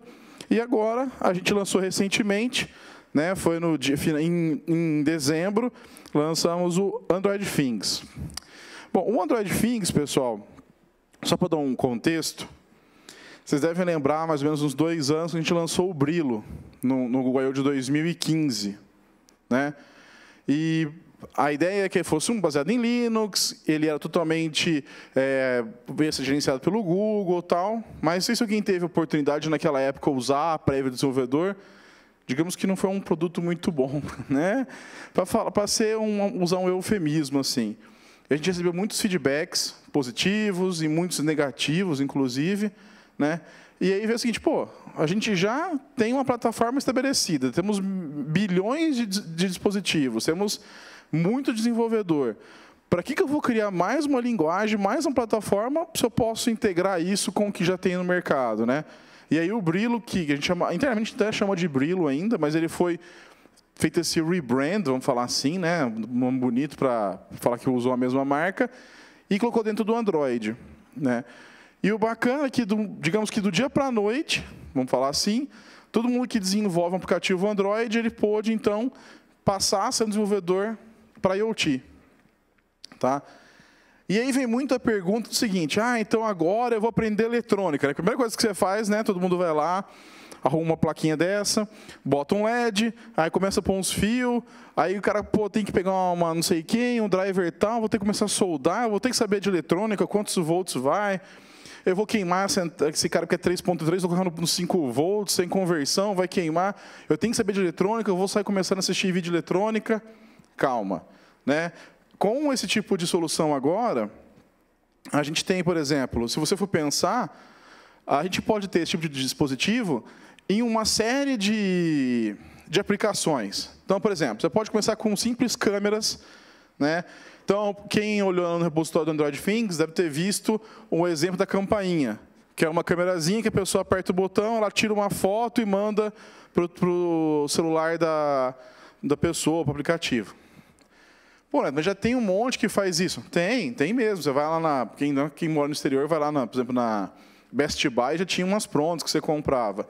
A diferença é que, a, só que qual que é a diferença? Aqui lá o cara tinha que comprar o microcontrolador, comprar o hardware, fazer a plataforma dele, fazer o desenvolvimento do servidor, fazer toda a integração, aprender geralmente uma nova linguagem, muitas eram em C, pegar o decoder. Agora não. Você pega um cara que é compatível com Android Things, coloca lá, começa uma activity, começa a ler daquela, aquele dispositivo, e você pode tirar uma foto e mandar pela API do câmera 2 e mandar para um, para um servidor seu da nuvem, salvar como você salva um aplicativo seu, e pronto, você está usando lá. Então, a facilidade que a plataforma traz é esse que é o ponto do ganho. Né? Então, assim, câmeras, gateways, é, controles medições. Depois disso, na parte comercial, pontos de venda, controle de inventário, é, anúncios interativos, porque você passa a ter ali um dispositivo que está rodando Android, você pode desenvolver essas, essas opções aí. Então, assim, ao invés do cara ter numa loja é, que com um computador, para ele simplesmente usar como um caixa, você pode construir uma caixinha, colocar uma Intel Edison, colocar uma Raspberry Pi, colocar um, uns tecladinhos lá, vou mostrar como a gente vai usar isso, e pronto, o cara tem um POS com preço muito mais barato, né, e mais uma vez usando a plataforma Android. Depois tem sistemas de segurança, aí tem, tem as smart doorbells, né? Isso é muito bom, mas quando você fica trancado em casa no ar-condicionado, outro lugar, você nunca sabe quem chegou em casa. Ou você pode programar a sua fechadura, seu sistema de segurança você mesmo, né? E a gente é programador, adora fazer essas coisas, né? Então, mas, enfim, e você pode pensar em tudo isso com monitoramento. E a parte de carro, gerenciamento de, de assets, gerenciamento de frota, assistente ao motorista e tudo mais. O que, que é a vantagem disso? O que, que tem a ver tudo isso? Na verdade, o que você consegue fazer é ir do protótipo à produção com o mesmo dispositivo. Por que, que isso é uma vantagem? Por exemplo, você vai lá no Mercado Livre, por exemplo, numa, num desses marketplaces, tem um pessoal vendendo um monte de Arduino, cola quente e caixinha elétrica, né? E fala que é um dispositivo. Já viram isso? Né? Por exemplo, eu faço. Alguém faz cerveja artesanal, faz cerveja em casa, está na moda agora. Tem um negócio chamado agitador magnético, que é para você fazer iniciar a levedura antes de você colocar. Um normal desse, um que usado em laboratório, custa por volta de uns 500, 600 reais. E como que você faz um desse? Você pode fazer como? Pegar um cooler de seu processador, você bota um imã em cima, aquele super imã de HD redondo, fecha numa caixinha, bota um, um, um dimmer lá, põe tampa, põe o negócio em cima e começa a usar. Bom, eu fiz o meu com menos de 75 reais. Foi 25 do cooler, não sei o que, tal, a caixinha e tal. Aí você entra no Mercado Livre tem isso por 200 reais. Então, assim, óbvio que eu peguei um caso muito simples, esse possivelmente não vai dar nenhum problema, Mas tem casos onde o pessoal pega um Arduino, liga isso num carro, quer usar como piloto automático, como treinamento do carro, aquilo esquenta, queima a porta de controle de alguma coisa do carro, o cara fica sem, pode ter, claro que não chega a ter problema de freio, não é porque isso não é mecânico, não é totalmente controlado, mas você pode ter problemas de é, sensor, de queimar sensor do carro, de queimar um monte de coisa, porque o cara foi lá e botou um Arduino e, e saiu usando. É, alguma coisa contra o Arduino, não é, o Arduino é ruim, não estou falando isso. A diferença é que são feitos para processos diferentes. O Arduino é uma ótima placa para prototipação e para pequenos projetos. Aí, então, assim, a, a, diferença. E aí, e qual que é o problema também? Você vai lá, programa na linguagem do Arduino, né, em C, aquela, aquele set reduzido. Fala, ok, provei o conceito do meu projeto, vou passar para um nível maior de aplicação. Possivelmente você vai ter que mudar de plataforma, ter que pôr aquilo numa placa, mandar fazer uma placa, tudo mais. E muito possivelmente fazer só na linguagem de Arduino não vai solucionar. Você vai ter que usar uma linguagem mais baixo nível. Né? Então você vai ter que refazer seu projeto. Nesse caso do Android Things, você consegue fazer do protótipo à produção usando a mesma plataforma. Você pode usar uma placa mais barata, mais simples para começar a fazer, tá? e depois você põe uma placa maior em cima disso com um custo maior. Diferença de placa. Essa é a Intel Edson, e você tem, por exemplo, a Intel Joule, que é uma outra placa da Intel muito mais forte, que em breve vai ser compatível com Android Things. Então você pode fazer o teste com essa placa, que é mais acessível, e se o seu projeto demandar uma coisa maior, você pega a Intel Joule, por exemplo. Tá? E o legal é o seguinte, você não precisa ser um mestre da eletrônica mais.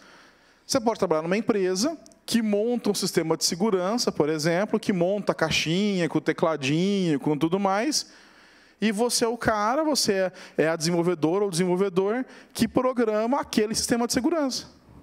Né? É como a gente imaginar que lá no começo da computação, é, no começo da computação é longe, mas sei lá, no começo dos PCs, você tinha que saber eletrônica, né? Você pegasse os primeiros, os primeiros Macs, os primeiros Apples que foram vendidos pelo Steve Jobs, as primeiras máquinas que o próprio Bill Gates comprou, não sei se vocês lembram da história, mas eles tinham que montar a máquina mesmo, tinha que ter instrução de frequência de monitor, tudo mais.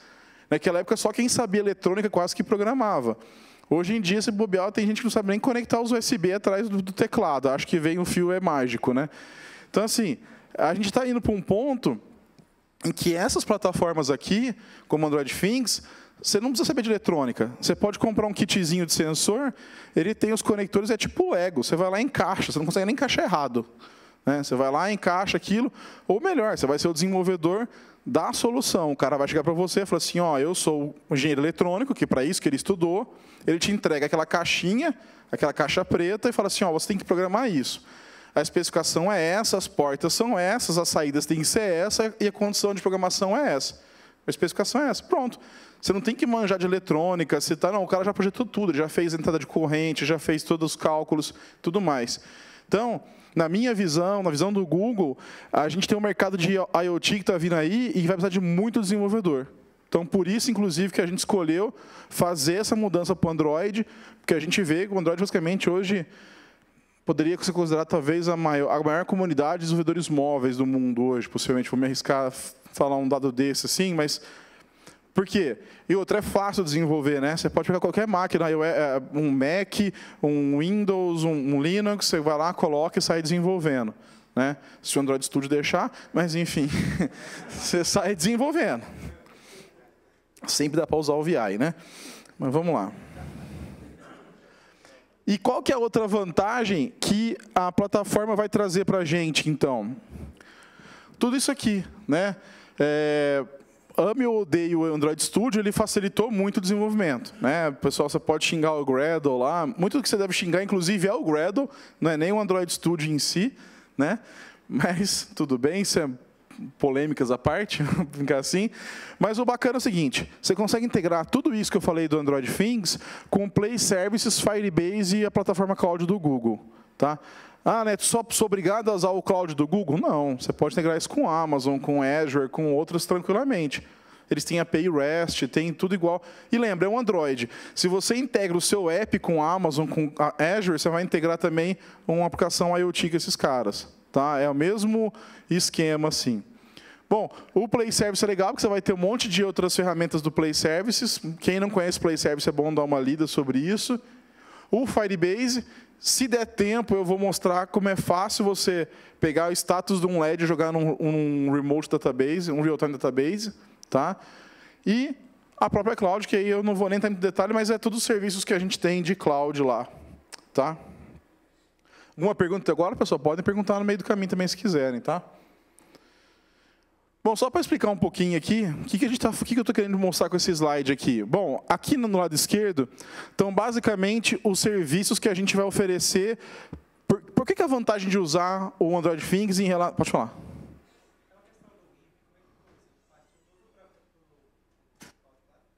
Não, vou, vou chegar lá. Legal. Segura a pergunta aí. Vamos lá. Que é essa aqui, ó, tem o IoT Developer Console.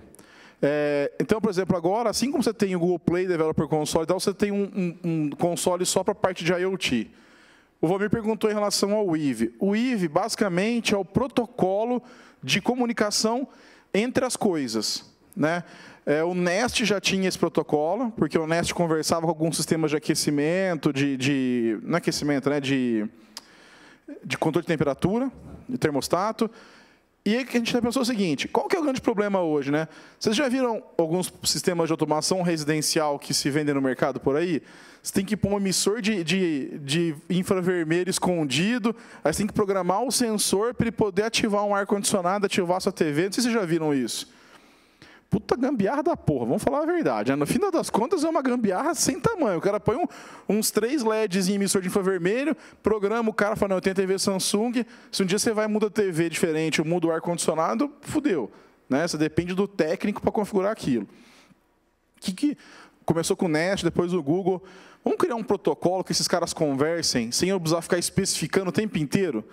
Então imagina que vai chegar um momento em que você vai sei lá, você vai na, na loja comprar seu ar-condicionado e você vai ver lá um símbolozinho do Weave naquele ar-condicionado. O que quer dizer aquilo? Que aquele ar-condicionado ele se comunica com centrais de automação usando esse protocolo. E aí, hora que você plugar esse, esse ar-condicionado lá na, no, na sua casa e você ligar ele, ele automaticamente vai começar a falar assim, ó, oh, eu estou aqui, eu sou esse dispositivo, eu sou esse tipo de dispositivo, os meus controles são esses. Tá? É, a gente pode até fazer depois um, um um, uma, um, em outro meetup em específico sobre a comunicação do Weave com Android Things ou com outras. Porque, assim, você não é obrigado a usar, a usar o Android Things para ler o Weave, por exemplo. Você pode ter um dispositivo seu, uma, uma, uma, um SO seu, e lendo esse Weave. E usar esses consoles. O Weave tem um console específico dele, que é weave.google.com. É, os dispositivos que são compatíveis, você já pode gerenciar por lá. Então, por exemplo, dispositivos compatíveis, se não me engano, é aquela lâmpada da Philips, já é uma daquelas que já é compatível. Tem algumas campainhas nos Estados Unidos que já são compatíveis, e você monitora por lá. Além disso, no caso do Android, como é a gente que está fazendo esse, Android Things, vai ter é, updates automáticos é, over the air. Então, não tem o perigo da, da, fabricante não liberar o update do Android. Então, o Android sempre vai estar é, atualizado. Ah, Neto, eu vi que vai ter uma, ter uma vulnerabilidade no Android lá e que isso pode afetar o IoT. Assim que a gente corrigir essa vulnerabilidade, ela já vai ser automaticamente instalada na, na versão. Então não tem o risco da sua casa ficar, é, da sua casa, da sua automação ficar exposta, tá?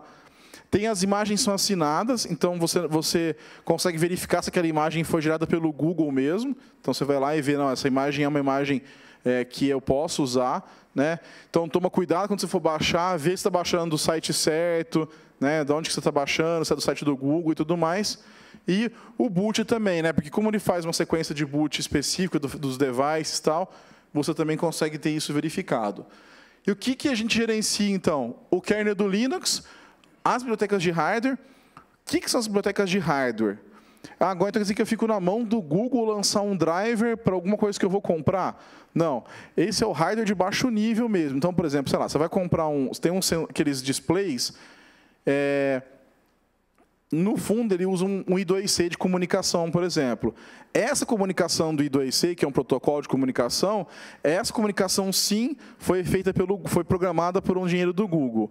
Agora, se a loja tal lança um display específico dela, e aí ele quer fazer um driver para aquele display, aí ele vai fazer o que a gente chama de user drivers, que são os drivers de alto nível. Tá?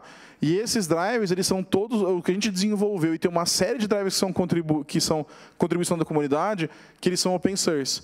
Então, inclusive, se você quer aprender como fazer um driver, pô, você comprou um display novo que não tem o driver lá. Você pode no GitHub fazer o checkout de um driver que é parecido, dar uma olhada, fazer um, um driver novo e publicar lá. Vai estar com o seu nome, com seus créditos, as pessoas vão poder utilizar aqueles drivers que a gente chama de user drivers. Tá? E você pode fazer um aplicativo, que daqui a pouco a gente vai fazer um aí. Bom, aqui são as arquiteturas, né, que são é, as, as, que a gente chama de System on Module, né, que são é, é como se fossem é, como é a Intel Edison, né? Você tem um sistema todo num módulo só, né? Que são as onboard computer que o pessoal chama, tem várias placas aí. É, então você tem Intel Edison, você tem a Dragon da, da Qualcomm, tá? E o legal é que tudo isso é gerenciado pelo Google, tá? Então você não, vai, você não vai ter custo de ficar criando driver novo, uma placa nova que você vai utilizar. A não ser que você vai fazer uma coisa muito específica, é, que você está criando um hardware muito específico, seu, a placa sua. Aí você tem que fazer a adaptação. Mas se aquela placa for compatível com o Linux, vai ser compatível com o Android Things também. Então, no futuro de evolução dessas, desses sistemas aí, o que vai diminuir muito o custo de, de desenvolvimento de novos produtos. Bom, agora vamos falar um pouquinho, né? De código, né? Aqui que eu falei, ah, isso aqui vai ser legal que você não precisa mais manjar de eletrônica para fazer uma aplicação IoT. Então você está com uma ideia, sei lá, você quer fazer, está numa casa, está num lugar que tem piscina, ou você tem criança, tem escadas, quer fazer um mecanismo de segurança para o seu filho não ir para a escada. E você quer programar isso você com alguns sensores. Como que você pode fazer isso? Que é a maior diversão nossa, né? Bom, isso aqui, essa imagem gigante, alguém reconhece que é isso aí ou não? É a arquitetura do Android. Isso aí é a famosa. É, todas as imagens bonitinhas é a famosa arquitetura do, arquitetura do Android mesmo. Então a gente tem aqui embaixo todos os kernels do Linux, todos os drivers, e só lembrando, o Google é um dos maiores contribuintes do kernel do Linux, inclusive todos os drivers do, que rodam no Android rodam em qualquer Linux e vice-versa. O Google faz o port dos drivers pro, e comita de volta no kernel do Linux. Tá? Em cima do kernel do Linux, você tem as bibliotecas, então aquela naquele canto esquerdo são as bibliotecas em C que estão desenvolvidas lá, que são aqueles libmodules, lib.so que você tem no Linux. Então você tem as versões do Android. E aqui é onde a maioria de nós mortais programamos, que é no Android Runtime, né, que ficava antigamente a famosa Dalvik, né, que, que foi substituída pelo, pelo Android ART, né, e depois tinha as Core Libraries. E em cima disso está o framework de aplicação. Já essa do verde para cima já é programado em Java, que são que é o que vocês usam nos aplicativos, que é o que a gente usa nos aplicativos. Quando eu vou usar Location Manager, é, Resource Managers, Content Providers, tudo isso já é escrito em bibliotecas do do, do, do Android em Java. Bom, o que a gente fez? Deu uma capada, digamos assim. Tiramos, basicamente, runtime permissions, que não faz sentido. Como que eu vou dar permissão para o aplicativo estar tá rodando numa caixa, numa, num sistema de controle, sei lá. Não tem jeito. Na geladeira, né? Isso é bom para gordo, né? Falando eu aqui. Faz permission para a geladeira. Gostei, vou dar essa ideia para voltar, essa porra aí. Content Provider, que também não faz muito sentido, porque a ideia de Content Provider é fazer compartilhamento de dados, mas também acesso, mas não faz muito sentido. Soft Keyboards, você não tem mais teclado. Você pode ter teclados, mas eu vou mostrar como você pode implementar um teclado físico, aí não é mais um teclado é, virtual. Wallpapers, né? óbvio, né? não vou explicar muito. Notificação também não tem, porque você pode ter diversos tipos. Ah, mas, pô, mas no meu aplicativo eu quero pôr para notificar numa tela. Bom, aí você vai ter que construir o seu mecanismo, porque isso vai variar de aplicação para aplicação. Não tem como ser uma coisa genérica. Né? E System UI, pelos motivos que eu já falei. E aí os aplicativos que tem no Android, com, digamos, convencional, né, o Android de fábrica, digamos assim, eles foram removidos. Então você não vai conseguir acessar o dialer, né? o launcher, porque não faz sentido você ter um launcher. Inclusive, quando lançou as versões internas de teste, a primeira, não era nem Activity, porque você não consegue fazer uma Activity sem zero display na configuração do Activity. Então dava pau. Então fazia por service. Depois que a gente voltou para fazer Activity, que eu já vou explicar daqui a pouquinho. Bom, Primeira coisa, displays são opcionais. Então, essa placa aqui, que é Intel Edison, por exemplo, ela não tem nem saída para display. Tá? É uma saída HDMI ou outro tipo de saída desse tipo que a gente conhece. Como que você pode fazer? Tem aqueles LCDs com I2C, tem display de segmento, sabe que tem aqueles números, tudo. Você usa esses caras aqui. É, quem optar pela Raspberry Pi, tem aquele display bonito, né, de 7 polegadas, que é touch, que puta, é coisa linda de usar. Só é um pouco a facada. No Brasil, se não me engano, está 500 reais no Brasil. Tá? É, fora, se alguém for viajar, fica a dica, 70 dólares você traz um display desse. Muito mais acessível. Tá? Mas aí fica o desafio, né, pessoal? Pensar em alternativas de input. Né? Nós estamos hoje, e eu já falei isso em algumas palestras, quem, quem talvez já tenha visto, é, tem a parte touch que a gente evoluiu, né, do tecladinho. Pô, eu lembro de alguém, tem gente mais nova aqui, mas naquela época digitar os SMS, né, as mensagens, aquelas teclinhas que tinha dando toque, dois toque, três toque num, voltava um. Tinha até competição daquilo, vocês já viram? Tinha o pessoal fazia mundial de, de digitar naqueles teclados, cara. Isso que é automutilação, né? Mas enfim. É, depois a gente passou para os touches. E se você for pensar, o mundo em si é touch, né? a gente não fica dando comando para fazer as coisas, a gente simplesmente usa. Né? Quem tem filho, com certeza já passou por isso, quer ver sua filha tentando passar é, com o dedo câmera digital. Esse dia minha filha pegou um livro e começou a fazer assim. falei, não, filha, pega papel, levanta. Mas é o paradigma, né? O paradigma está mudando de interface, a gente tem mais a mudança agora. Né? É, eu costumo falar, por exemplo, uma coisa tão simples e que a gente está num paradigma muito antigo de interface. Né? Lá vem o gordo falar de comida, mas é um fogão, por exemplo. Quem gosta de cozinhar, você pode ir na casa de outra pessoa, pode ser ter quase o mesmo fogão que o seu. Você apanha para ligar a porcaria do fogão. Já viram isso? O forno, então, é um desespero. Você segura, solta o botão, volta, não sei o quê. Porra, velho, sério mesmo. Né? Hoje a gente está com quase com um monte de coisas, carro dirigindo sozinho, e eu preciso ficar apertando, não consigo ligar um fogão. Então você imagina se eu pudesse chegar para um fogão e falar assim: liga aí, 150 graus. Tuf, pronto, ligava. Não seria muito mais fácil? Né? Outra, quantos, vocês já viram quantos incêndios acontecem porque tem um pessoal que toma uma água a mais, aí vai para fritar um nuggets à noite, põe o óleo e vai dormir. Hoje o pessoal usa micro-ondas, né? Geração leitinho com pera, mas, pô, época de faculdade não tinha micro-ondas não, velho. Acordava, o nuggets parecia um carvão de frango, né? E era perigoso, podia dar incêndio, né? Você tem, às vezes você tem exaustor, alguma coisa, você pode causar incêndio e tal. Por não ser inteligente, para um sensor de temperatura que custa menos de 20 centavos de real, um sensor assim, e se o sensor passa de X temperatura, ele dá um alarme, e se ninguém responde ao alarme, ele vai e corta o gás, ou corta a eletricidade. Não seria muito mais simples fazer isso? Então, assim, esses mecanismos novos vão exigir novas interfaces gráficas. Né? Quando eu peguei a primeira vez o Android Wear, que eu tava, comecei a usar, né? Eu estava lá cozinhando e tal. E aí eu peguei, a Liga de Nerd é umas coisas bobas, né, cara? Mas enfim, eu peguei lá, estava fazendo, eu fui pôr um negócio no forno. Aí você tem que colocar o timer né, de quanto que ia dar. Aí virei pro relógio, né? Ok, Google. Iniciar cronômetro 20 minutos. Meu esposo olhou, mas é nerd mesmo. Falei, deixa eu falar com o relógio, né? Mas não faz muito mais sentido eu ter que ir lá pegar lá, lavar minha mão tudo engordurado, pegar um relógio, procurar um relógio, que setar o cronômetro. Não, eu já falei, deu comando. Então, assim, a gente cada vez mais vai começar a usar métodos alternativos de, de, de, entrada. Então, eu vou numa porta, eu vou pôr meu dedo lá, eu vou digitar uma senha. Por que eu vou ficar carregando chave? Eu sou campeão de perder chave. Meu maior desespero é ter que ficar procurando chave e quando eu vou sair para algum lugar eu sempre esqueço onde eu coloquei. Pô, não precisava ter chave. Assim, saio, tranco a porta, depois eu volto, digito uma senha. É, posso pôr digital, mas a gente tem problemas, né? Tem gente que não tem como usar digital. Pô, põe uma senha, pelo menos. Ah, mas tem gente que não tem como digitar a senha. Cara, tem algum mecanismo, você tem mecanismo de voz, alguma coisa que a pessoa vai ter como se identificar. E na AirPods pode ser uma fechadura, que aí vai ter uma chave que as pessoas vai usar, que aí não pode usar um mecanismo novo. Né? Mas tem vários mecanismos que você tem que pensar nisso quando você faz um dispositivo de intérprete das coisas. Até porque, de vez em quando, vai ser impossível você colocar um teclado. Né? Tem coisas que não vai ter como você colocar um teclado. Bom, para o pessoal que estava tremendo sem ver código, é...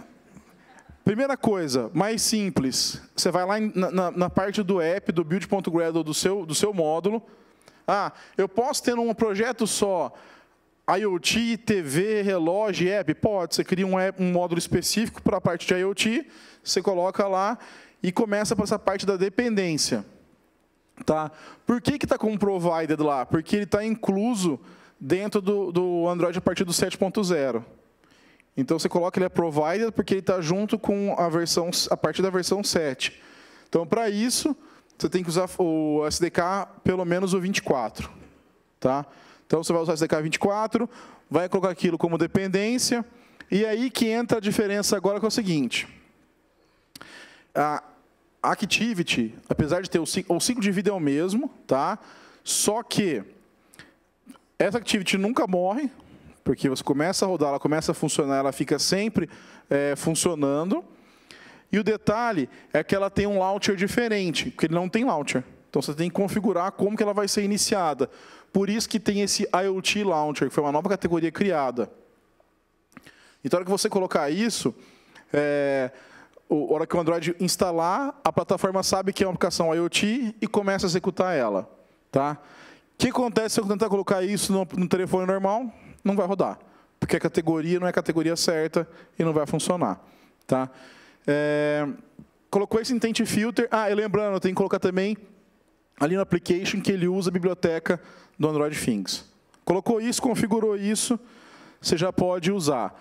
Como que funciona o sistema de periféricos do, do Android Things em, em geral? O que é suportado hoje são esses, é, essas entradas e saídas, GPIO, PWM, I2C, SPI e o WART. Tá? Se o seu dispositivo usar algumas dessas, você consegue se comunicar. Tá? Pode ser que alguns drivers já estejam prontos e outros vai ter que ter o prazer, o desafio de criar, que é isso que a gente gosta de fazer. Né? Afinal, você não faz nada de final de semana. O que, que eu tenho aqui agora? Como que eu faço para gerenciar esses periféricos? Eu tenho uma classe chamada, pelo nome bem simples de entender, Peripheral Manager Service. Esse cara que me dá acesso a todos os periféricos ali. E no caso do botão, por exemplo, então o botão ele está ligado aonde? Numa porta, eu sei que está horrível de ver, mas ele está ligado numa porta digital da placa, por exemplo. Então, por isso que eu vou abrir uma GPIO. E aí eu vou falar qual que é a direção. O que, que é a direção? Como que essa porta vai interagir? Se é uma porta de saída ou se é uma porta de entrada. Então, nesse caso, a direção é in. Tá? E qual que é o tipo de é, trigger que ele vai habilitar o evento. Nesse caso, é o edge falling, né? que ele vai, quando você apertar ele, falling, ele vai descer e vai iniciar um evento que, vai, monitorar, que vai ser monitorado pelo Android. E aí você pode fazer o quê? eventos, callbacks nesse botão. Então eu consigo lá no Android, igual você fazia para um botão do set ou um click listener, você faz um botão físico. Então você faz um listener para um botão físico e ele vai receber esse callback e aí você faz a ação que você quiser. Então imagine que eu poderia fazer, ao invés do log, eu poderia simplesmente ir lá e disparar um cara que vai mudar um status de um LED, ou que vai salvar alguma coisa na nuvem, por exemplo. Então, você faz só nesse callback aí. Tranquilo, pessoal? Mais fácil, né? Quem já fez esquema de Arduino, já tentou fazer, controlar o tempo que a pessoa fica apertando, soltando, segurando, é bem mais fácil fazer assim, né? Você tem um callback direto e faz. Lembrando que você não está em loop, né? O Arduino, por exemplo, é, é sacanagem comprar porque o Arduino é outra ferramenta, é outra plataforma, né? Mas só para como referência, o Arduino está em loop o tempo inteiro. Aquilo não está em loop, é um aplicativo que está rodando e você pode interagir, inclusive, com threads diferentes. Inclusive, não, você tem que usar threads diferentes. Daqui a pouco eu vou fazer o famoso Blink, né? E a gente vai ver como que ele inicia uma thread aí. Então, eu tenho o I2C, que geralmente é a mais utilizada, inclusive, por isso que a setinha está no meio, mas assim, você tem sensores de todos os tipos, mas sensor geralmente ele é I2C, tá? PWM é mais usado para motores, alguma coisa que você tem que ter uma variação, tudo mais. E você tem vários drivers de input, aqueles teclados membrana que tem 11 dígitos, né? Vai do, do tem tem, tem 12, né? Vai do 0 ao 9 e tem aquele cerquilho e asterisco, por exemplo. Você pode programar um tecladinho daquele jeito. Ou pode pôr um teclado maior, se você quiser. Esse aqui, por exemplo, ó, lá o de cima, ele está usando um esquema de, de botão, mas ele está usando com sete keys. Vocês estão vendo lá? set version, depois a versão do driver, e depois tem ali, ó, set keys, ele cria um mapa de teclado. Para que, que é isso? Esses teclados de membrana que eu falei, que tem, por exemplo, 10 posições, você pode colocar vários mapeamentos, mas por que está usando o driver de botão? Porque cada um funciona como se fosse um botão. Então ele apertou o botão, eu sei que ele apertou aquele mapeamento, então eu sei que ele apertou um, então eu vou lá e coloco um no meu, no meu programa. Estou digitando a senha para entrar em alguma coisa. Então você faz essa parte. Que é o mesmo esquema do, do, do Edge ali, então ele fez o action down, ou ele faz o action up, você consegue então saber quanto tempo ele pressionou, ou você pode emitir uma nova tecla. Então você pode fazer vários listeners em cima do, do no callback que ele tem aqui. Mas bem mais fácil de usar né, do que você fazer aquele monte de, de cálculo, de fazer cálculo de qual botão que foi apertado, a matriz e tudo mais. E a gente tem uma biblioteca de periféricos, tá?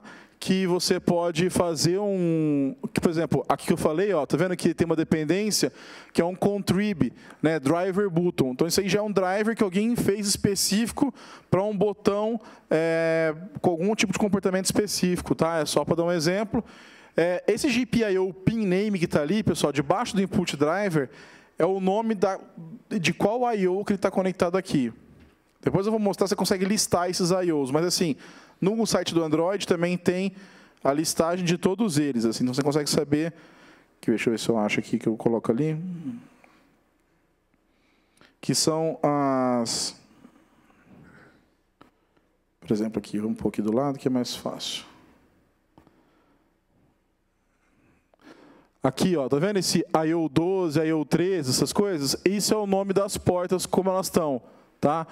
Então, no NXP, você tem que usar desse jeito. Na Raspberry Pi, assim, e na, na Intel Edison, desse jeito. Você pode fazer uma tradução, uma tabela de depara e fazer um, um, uma comparação das outras. Talvez, ninguém perguntou, mas talvez eu sei que pode ser uma dúvida muito que eu já ouvi algumas pessoas terem, que é o seguinte. Beleza? Então, eu fiz aqui meu, meu aplicativo do Android Things, estou manjando tudo. Como que eu desenvolvo, como que eu vou é, que isso chegue ao consumidor? Como que a pessoa vai usar esse meu aplicativo? Deve ser uma pergunta que vocês podem estar curiosos. Na verdade, o que, que vai acontecer? Você vai juntar tanta parte de segurança, gerenciamento pelo Google e o poder do Android, mas nenhum cara vai estar com uma caixinha baixando o aplicativo do Play Store. Isso é para você construir equipamentos, né? Você construir dispositivos. Então você vai, é, alguém vai chegar, se um dia você fizer um protótipo funcional que está numa loja, alguém sei lá, vai chegar numa telha norte da vida lá e vai comprar uma caixinha de alarme ou uma controle de, de, temperatura da sua empresa, ele vai plugar na casa dele e aquilo vai ser usado através de um aplicativo, que aí sim esse aplicativo do seu telefone celular vai ter na loja. Ah, mas eu sou obrigado a construir um aplicativo para controlar meu dispositivo Android? Não. Você pode fazer uma tecladinha externa, um botão, você pode ter simplesmente essas coisas funcionando. Ou usando o Eve, por exemplo, você pode integrar isso com o Google Home. Vocês devem ter visto já o pessoal fazendo um monte de brincadeira com o Google Home. Você, no Brasil ainda não tem o Google Home ainda, mas isso é fácil de achar, várias pessoas já trouxeram. Mas você imagina que você poderia pôr uma placa dessas, poderia criar um, um sei lá, um sistema de monitoramento de câmeras na sua casa e que você queira ver na televisão da sala e você poderia falar, ok, Google, ok, Google, me mostre as câmeras do quarto 2. E ele joga aquela câmera para o seu Chromecast e mostra na sua televisão.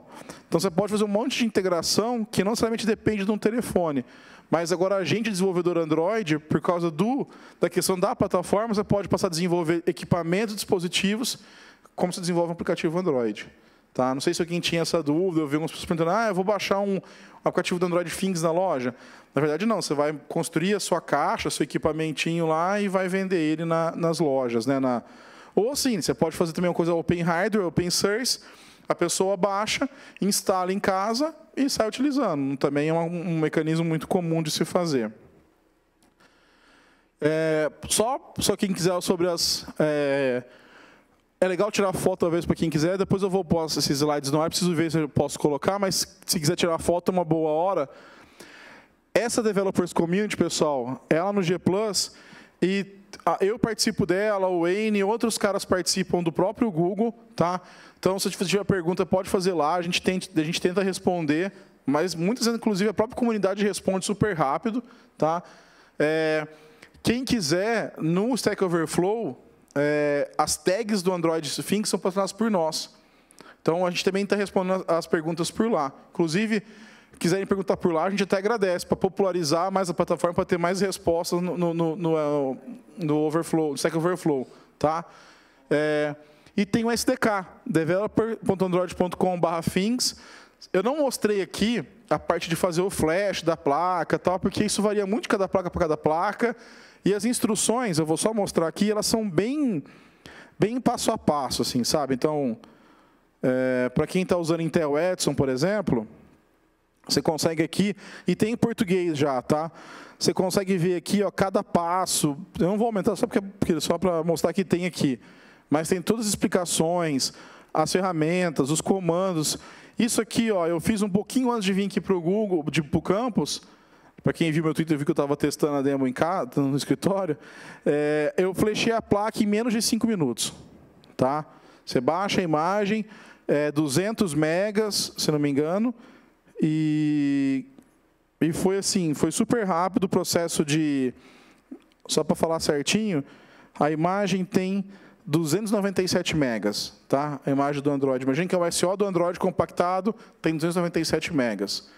Esse é um dos motivos, antes que, antes que alguém pergunte, por que o Things tem placas mais parrudas, digamos assim, pelo próprio tamanho do sistema operacional e pela memória que ele consome. Então, infelizmente, seria impossível colocar no Arduino Mega ou numa Node MCU.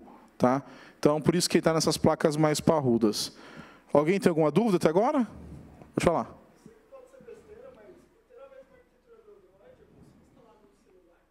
Não, não consegue, porque na verdade, algumas coisas que eu mostrei naquela arquitetura, lembra que eu mostrei, ah, tirou isso, tirou aquilo, tudo mais, ele não vai rodar no, no hardware, entendeu? Então não, ele não vai detectar algumas coisas que estão lá e não vai rodar. Tá saindo, é um, vai sair um emulador logo logo você poder utilizar, é, num, como se fosse um emulador mesmo, assim, com sensores e tudo. Mas por enquanto, é, assim, e pode ser que a comunidade logo logo solte uma imagem que rode alguns celulares, né? Mas oficialmente a gente não vai liberar, por enquanto não vai ter nada oficial não, tá? Mais alguma dúvida, pessoal? Eu vou fazer a demozinha aqui. Vocês viram que eu estou com um LED aqui. Claro, tem que ter um blink, né? O Hello World é fazer um blink, né? É, são 9h33, são 10 minutos, é isso para acabar? Quanto tempo falta? 10? Tá bom. Então dá tempo. É, tem um LED ligado aqui, ele está na porta 12 e está no, no, ground. Esse botão aqui eu trouxe porque eu esqueci a protoboard em casa, então ele já tem um, ele já tem um resistor aqui. Mas se você for ligar um, um se você for ligar um botão é, e nunca tiver feito isso na vida, nunca mexi com eletrônica, como que eu faço isso? É só você vir aqui, por exemplo, ó, dentro do Android Things tem os samples, tá? E aí, inclusive, tem todo o esquemático de como que você liga o botão, em qual porta que você liga, nas, três, nas duas placas principais que, que a gente tem suporte hoje, que é o Raspberry e a Intel Edison. Tá? Então, você pode vir aqui e ver como que ele liga esse botão tal e fazer. Mas depois tem todas as instruções de como você pode usar o exemplo. Então, quem quiser, eu aconselho muito a brincar com esses exemplos aqui. Vamos lá, então. Aqui tá ligado, né? Então vamos por aqui mais fácil. Se alguém tiver alguma dúvida, pode perguntar enquanto eu vou abrindo aqui, pessoal.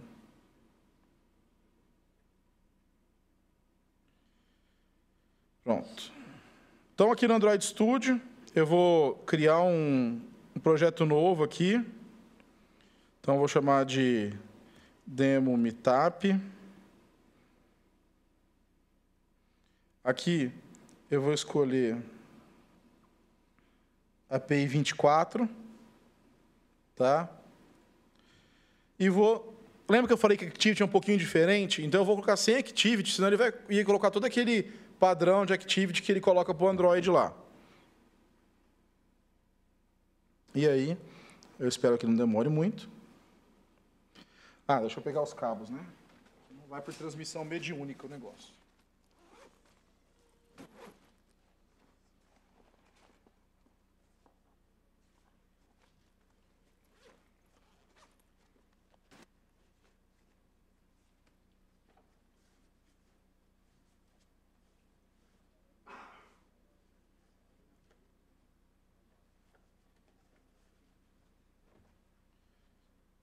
Bom, então os cabos são cabos USB para micro USB só.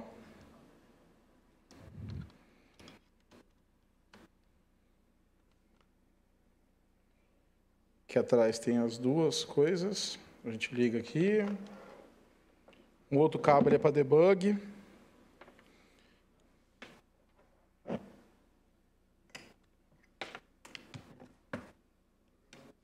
Opa.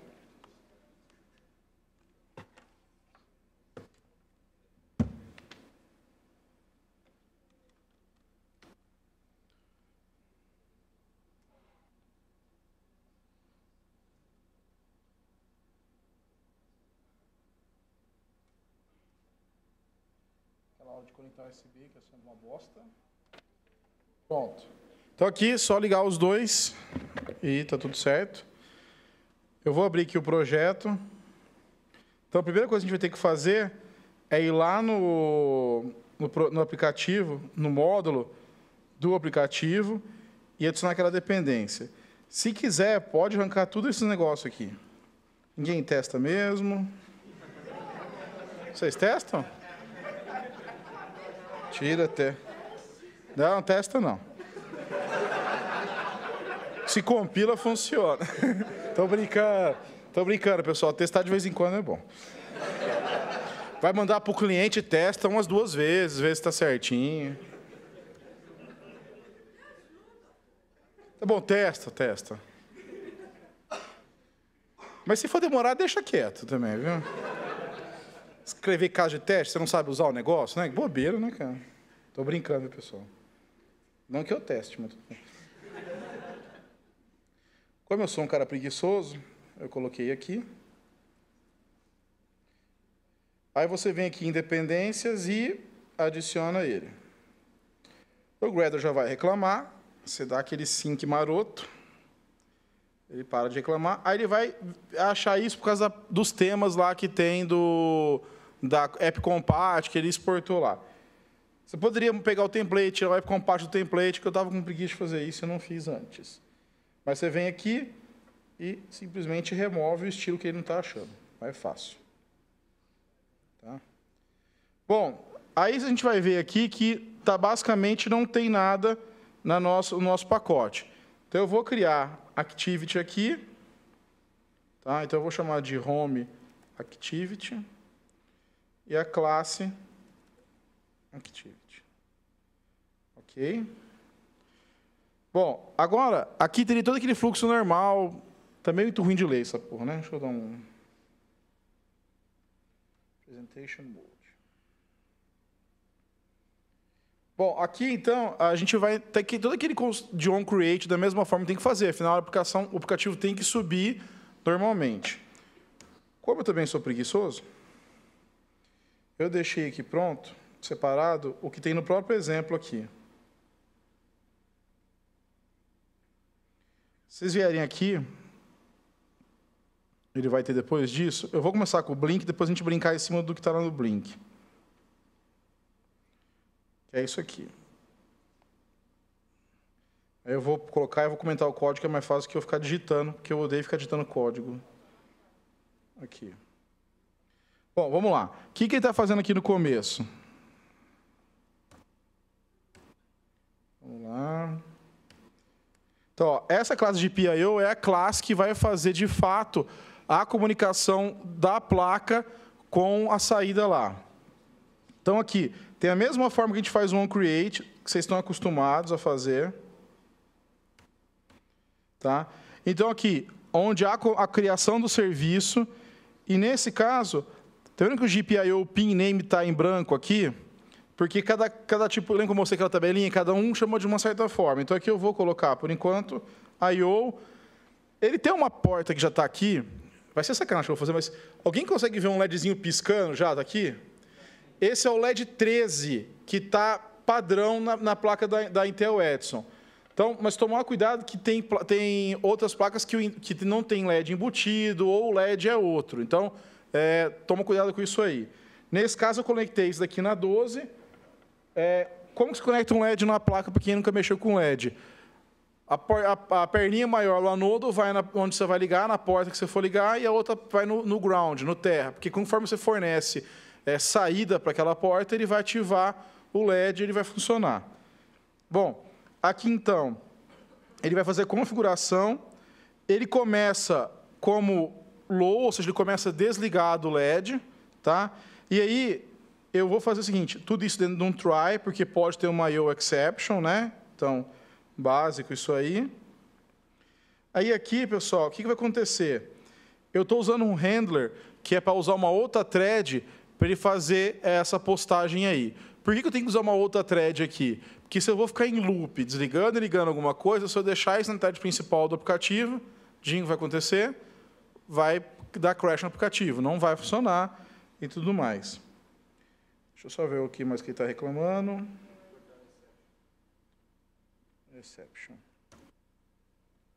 E o log também.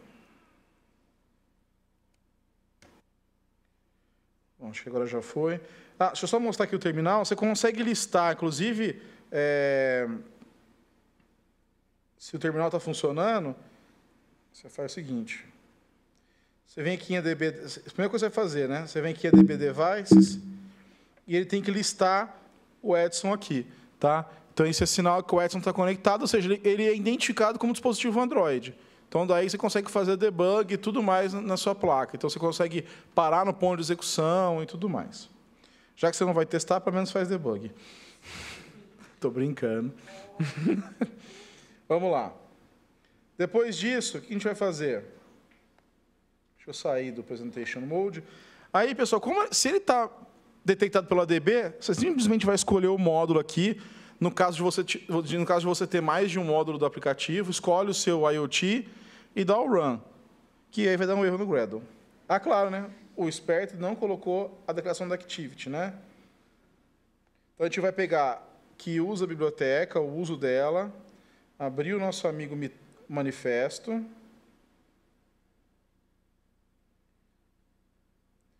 Sempre esquece alguma coisa, né? Eu costumo tirar esse, você pode tirar esse suporte a tema, suporte right to left. Você poderia até tirar o label também, que não tem, não tem problema. Coloque, então, usa a biblioteca e vai declarar activity, igual aquele que eu pus para vocês naquele slide lá que tá, tem que ser declarado. Claro que eu vou pegar e copiar, né?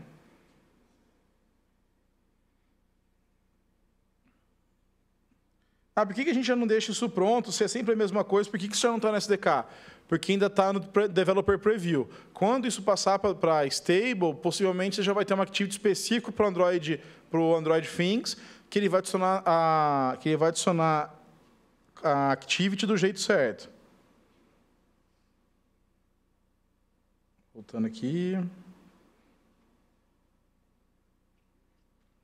Então aqui você pode vir aqui e copiar toda essa parte da Activity, por isso que eu chamei de Home Activity, para estar tá prontinho aqui. Então, só voltando para vocês lembrar de novo, para ficar para ninguém esquecer. Então, aqui eu coloquei a biblioteca, porque, mais uma vez, ela ainda está dentro do Android, então você tem que indicar o uso, para que você não vai ficar coisa padrão para todos os Androids ainda. Tá? Então, main e launcher, mas o que importa é o seguinte, que é para ele poder lançar automaticamente no boot, que é o IoT Launcher aqui. Tá? Então, você tem que colocar isso aqui, coloquei Home Activity, e agora ele deve funcionar normalmente. Então, vamos lá. E claro que vai dar algum problema, né? mas enfim. Então, ele já detectou o próprio Intel Edson aqui. Vou colocar. E, teoricamente, aquele LED que está aqui, que é um LED vermelho, ele deve acender. Mas, claro que deu erro no Gradle. Ah, porra do Web Compete lá. É.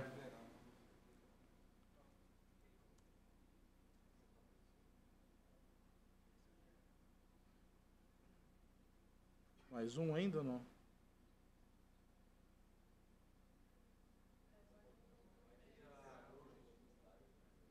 Tá no merge não? Tá, deixa eu tirar de lado de uma vez, vai.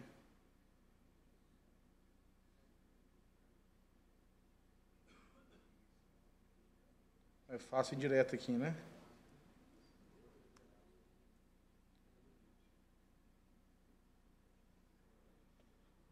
Claro que demo sempre vai dessas coisas, senão não seria demo. Pronto, já está instalando. Já está lançando Activity e o LED tem que piscar. Cri. Olha lá. Oh, hein? Coisa incrível, hein? Que merda, mas enfim. É, é isso. É que o tempo está estourado, eu queria fazer do push button, mas a gente vai fazer, eu já conversei com o Leão lá fora, com o pessoal do GDG, a gente vai fazer um outro sobre, sobre Android Things com o Firebase. Que a gente vai fazer um controle remoto, salvar os dados de sensores, aí eu, eu vou trazer tem um negócio nos Estados Unidos que eu vou para lá em fevereiro, quero ver se eu trago para a gente apresentar para vocês. É o kit do Android Things. Tem o Android Head, que tem várias cores e sensores. Tá? É, esse exemplo é muito básico, era só para explicar para vocês, basicamente, o funcionamento da Activity. É, eu sei testar o tema, se alguém tem perguntas, querem fazer perguntas, pode fazer, pessoal. Tem um tempinho aí. Pode falar.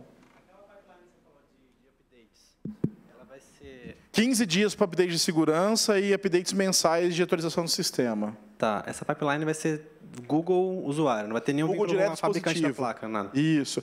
Então, por exemplo, se, você, se, essa, se essa placa tiver conectividade com a internet e o cara que fez a placa habilitou isso, tá. você pode estar na sua casa, é, lá como central de alarme que ele vai receber. E se você for o desenvolvedor que vai empacotar isso, você consegue pouco tempo para disponibilizar o seu produto, pegar um update mais novo. Tá. tá. Outra pergunta que eu tenho é sobre o Google Home. Ele usa fins internamente ou é outra coisa?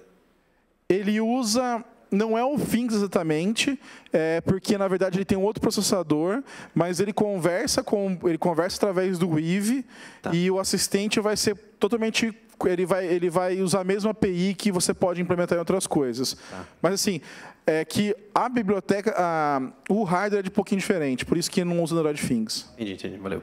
Beleza? Mais alguma, pessoal? Pode falar. Aí você faz, um, você faz uma atualização pelo, pelo. Ele usa Play Services, então você consegue fazer um push de atualização para o aplicativo. Tá? É, e se você quiser ir lá e jogar um USB e fazer uma instalação, você também pode fazer. É, porque tem um ADB normal, mas se você precisar fazer, você pode usar o Play Service e fazer um push do seu APK para ele também. Dá para fazer. Ô, Neto, pode, pode só um minuto, eu do aqui. Vai.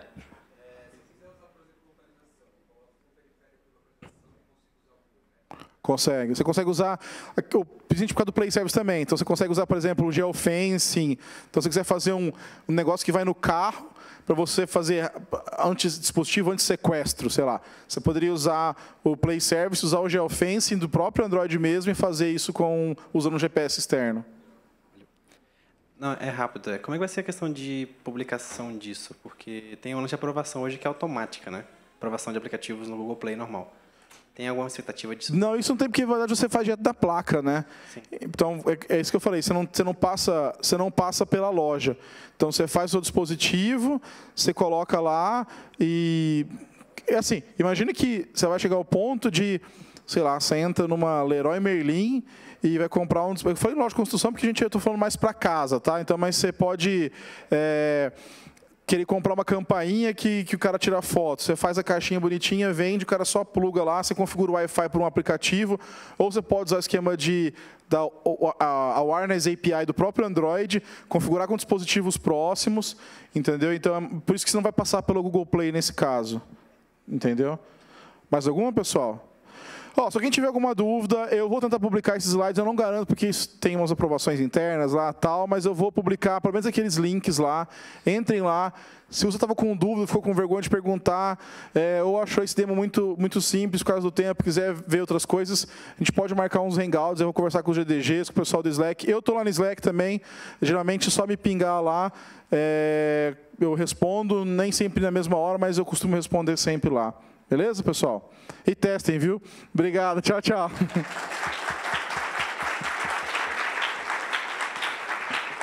Muito bom, muito bom. Em nome do GDG, eu gostaria de agradecer ao Neto, à Cris e ao Valmir pelas palestras de hoje.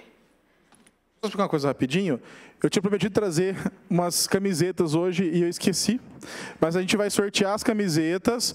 Aí quem vai lá vai sortear, me passa, depois a gente vai passar o contato, tá. os contatos, e a gente vai mandar as camisetas. É bom que você já, inclusive, fala o tamanho da camiseta, né? Então são camisetas que a gente tem lá do Google Developer, do Next Level Apps, algumas coisas assim, e a gente manda para vocês, tá bom? Valeu. Bom, vou usar o nosso conhecido random.org. A gente vai sortear cinco camisetas. Hã? Ó, ah, eu vou tirar seu nome?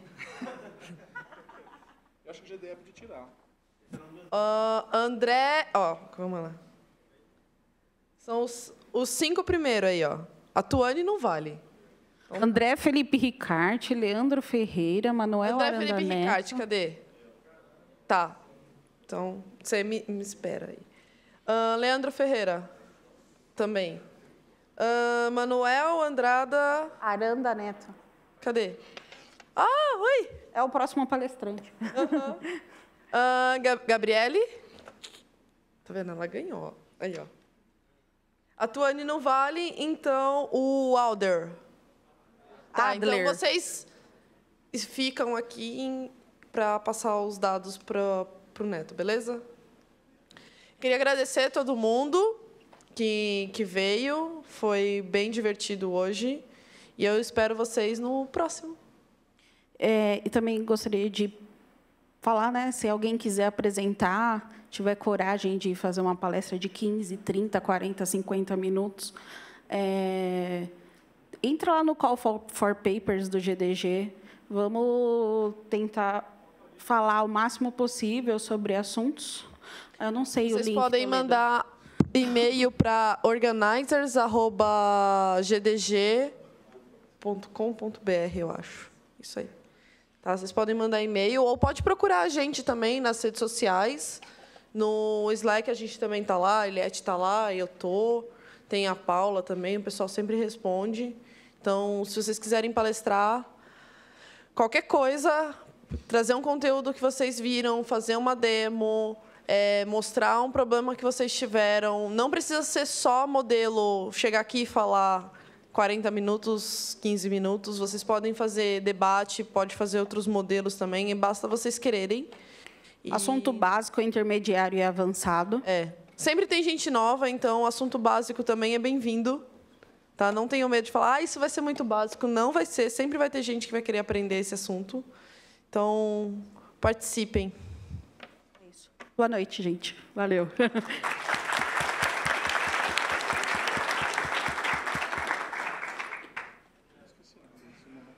Tem um celular aqui. Ah, não, é isso.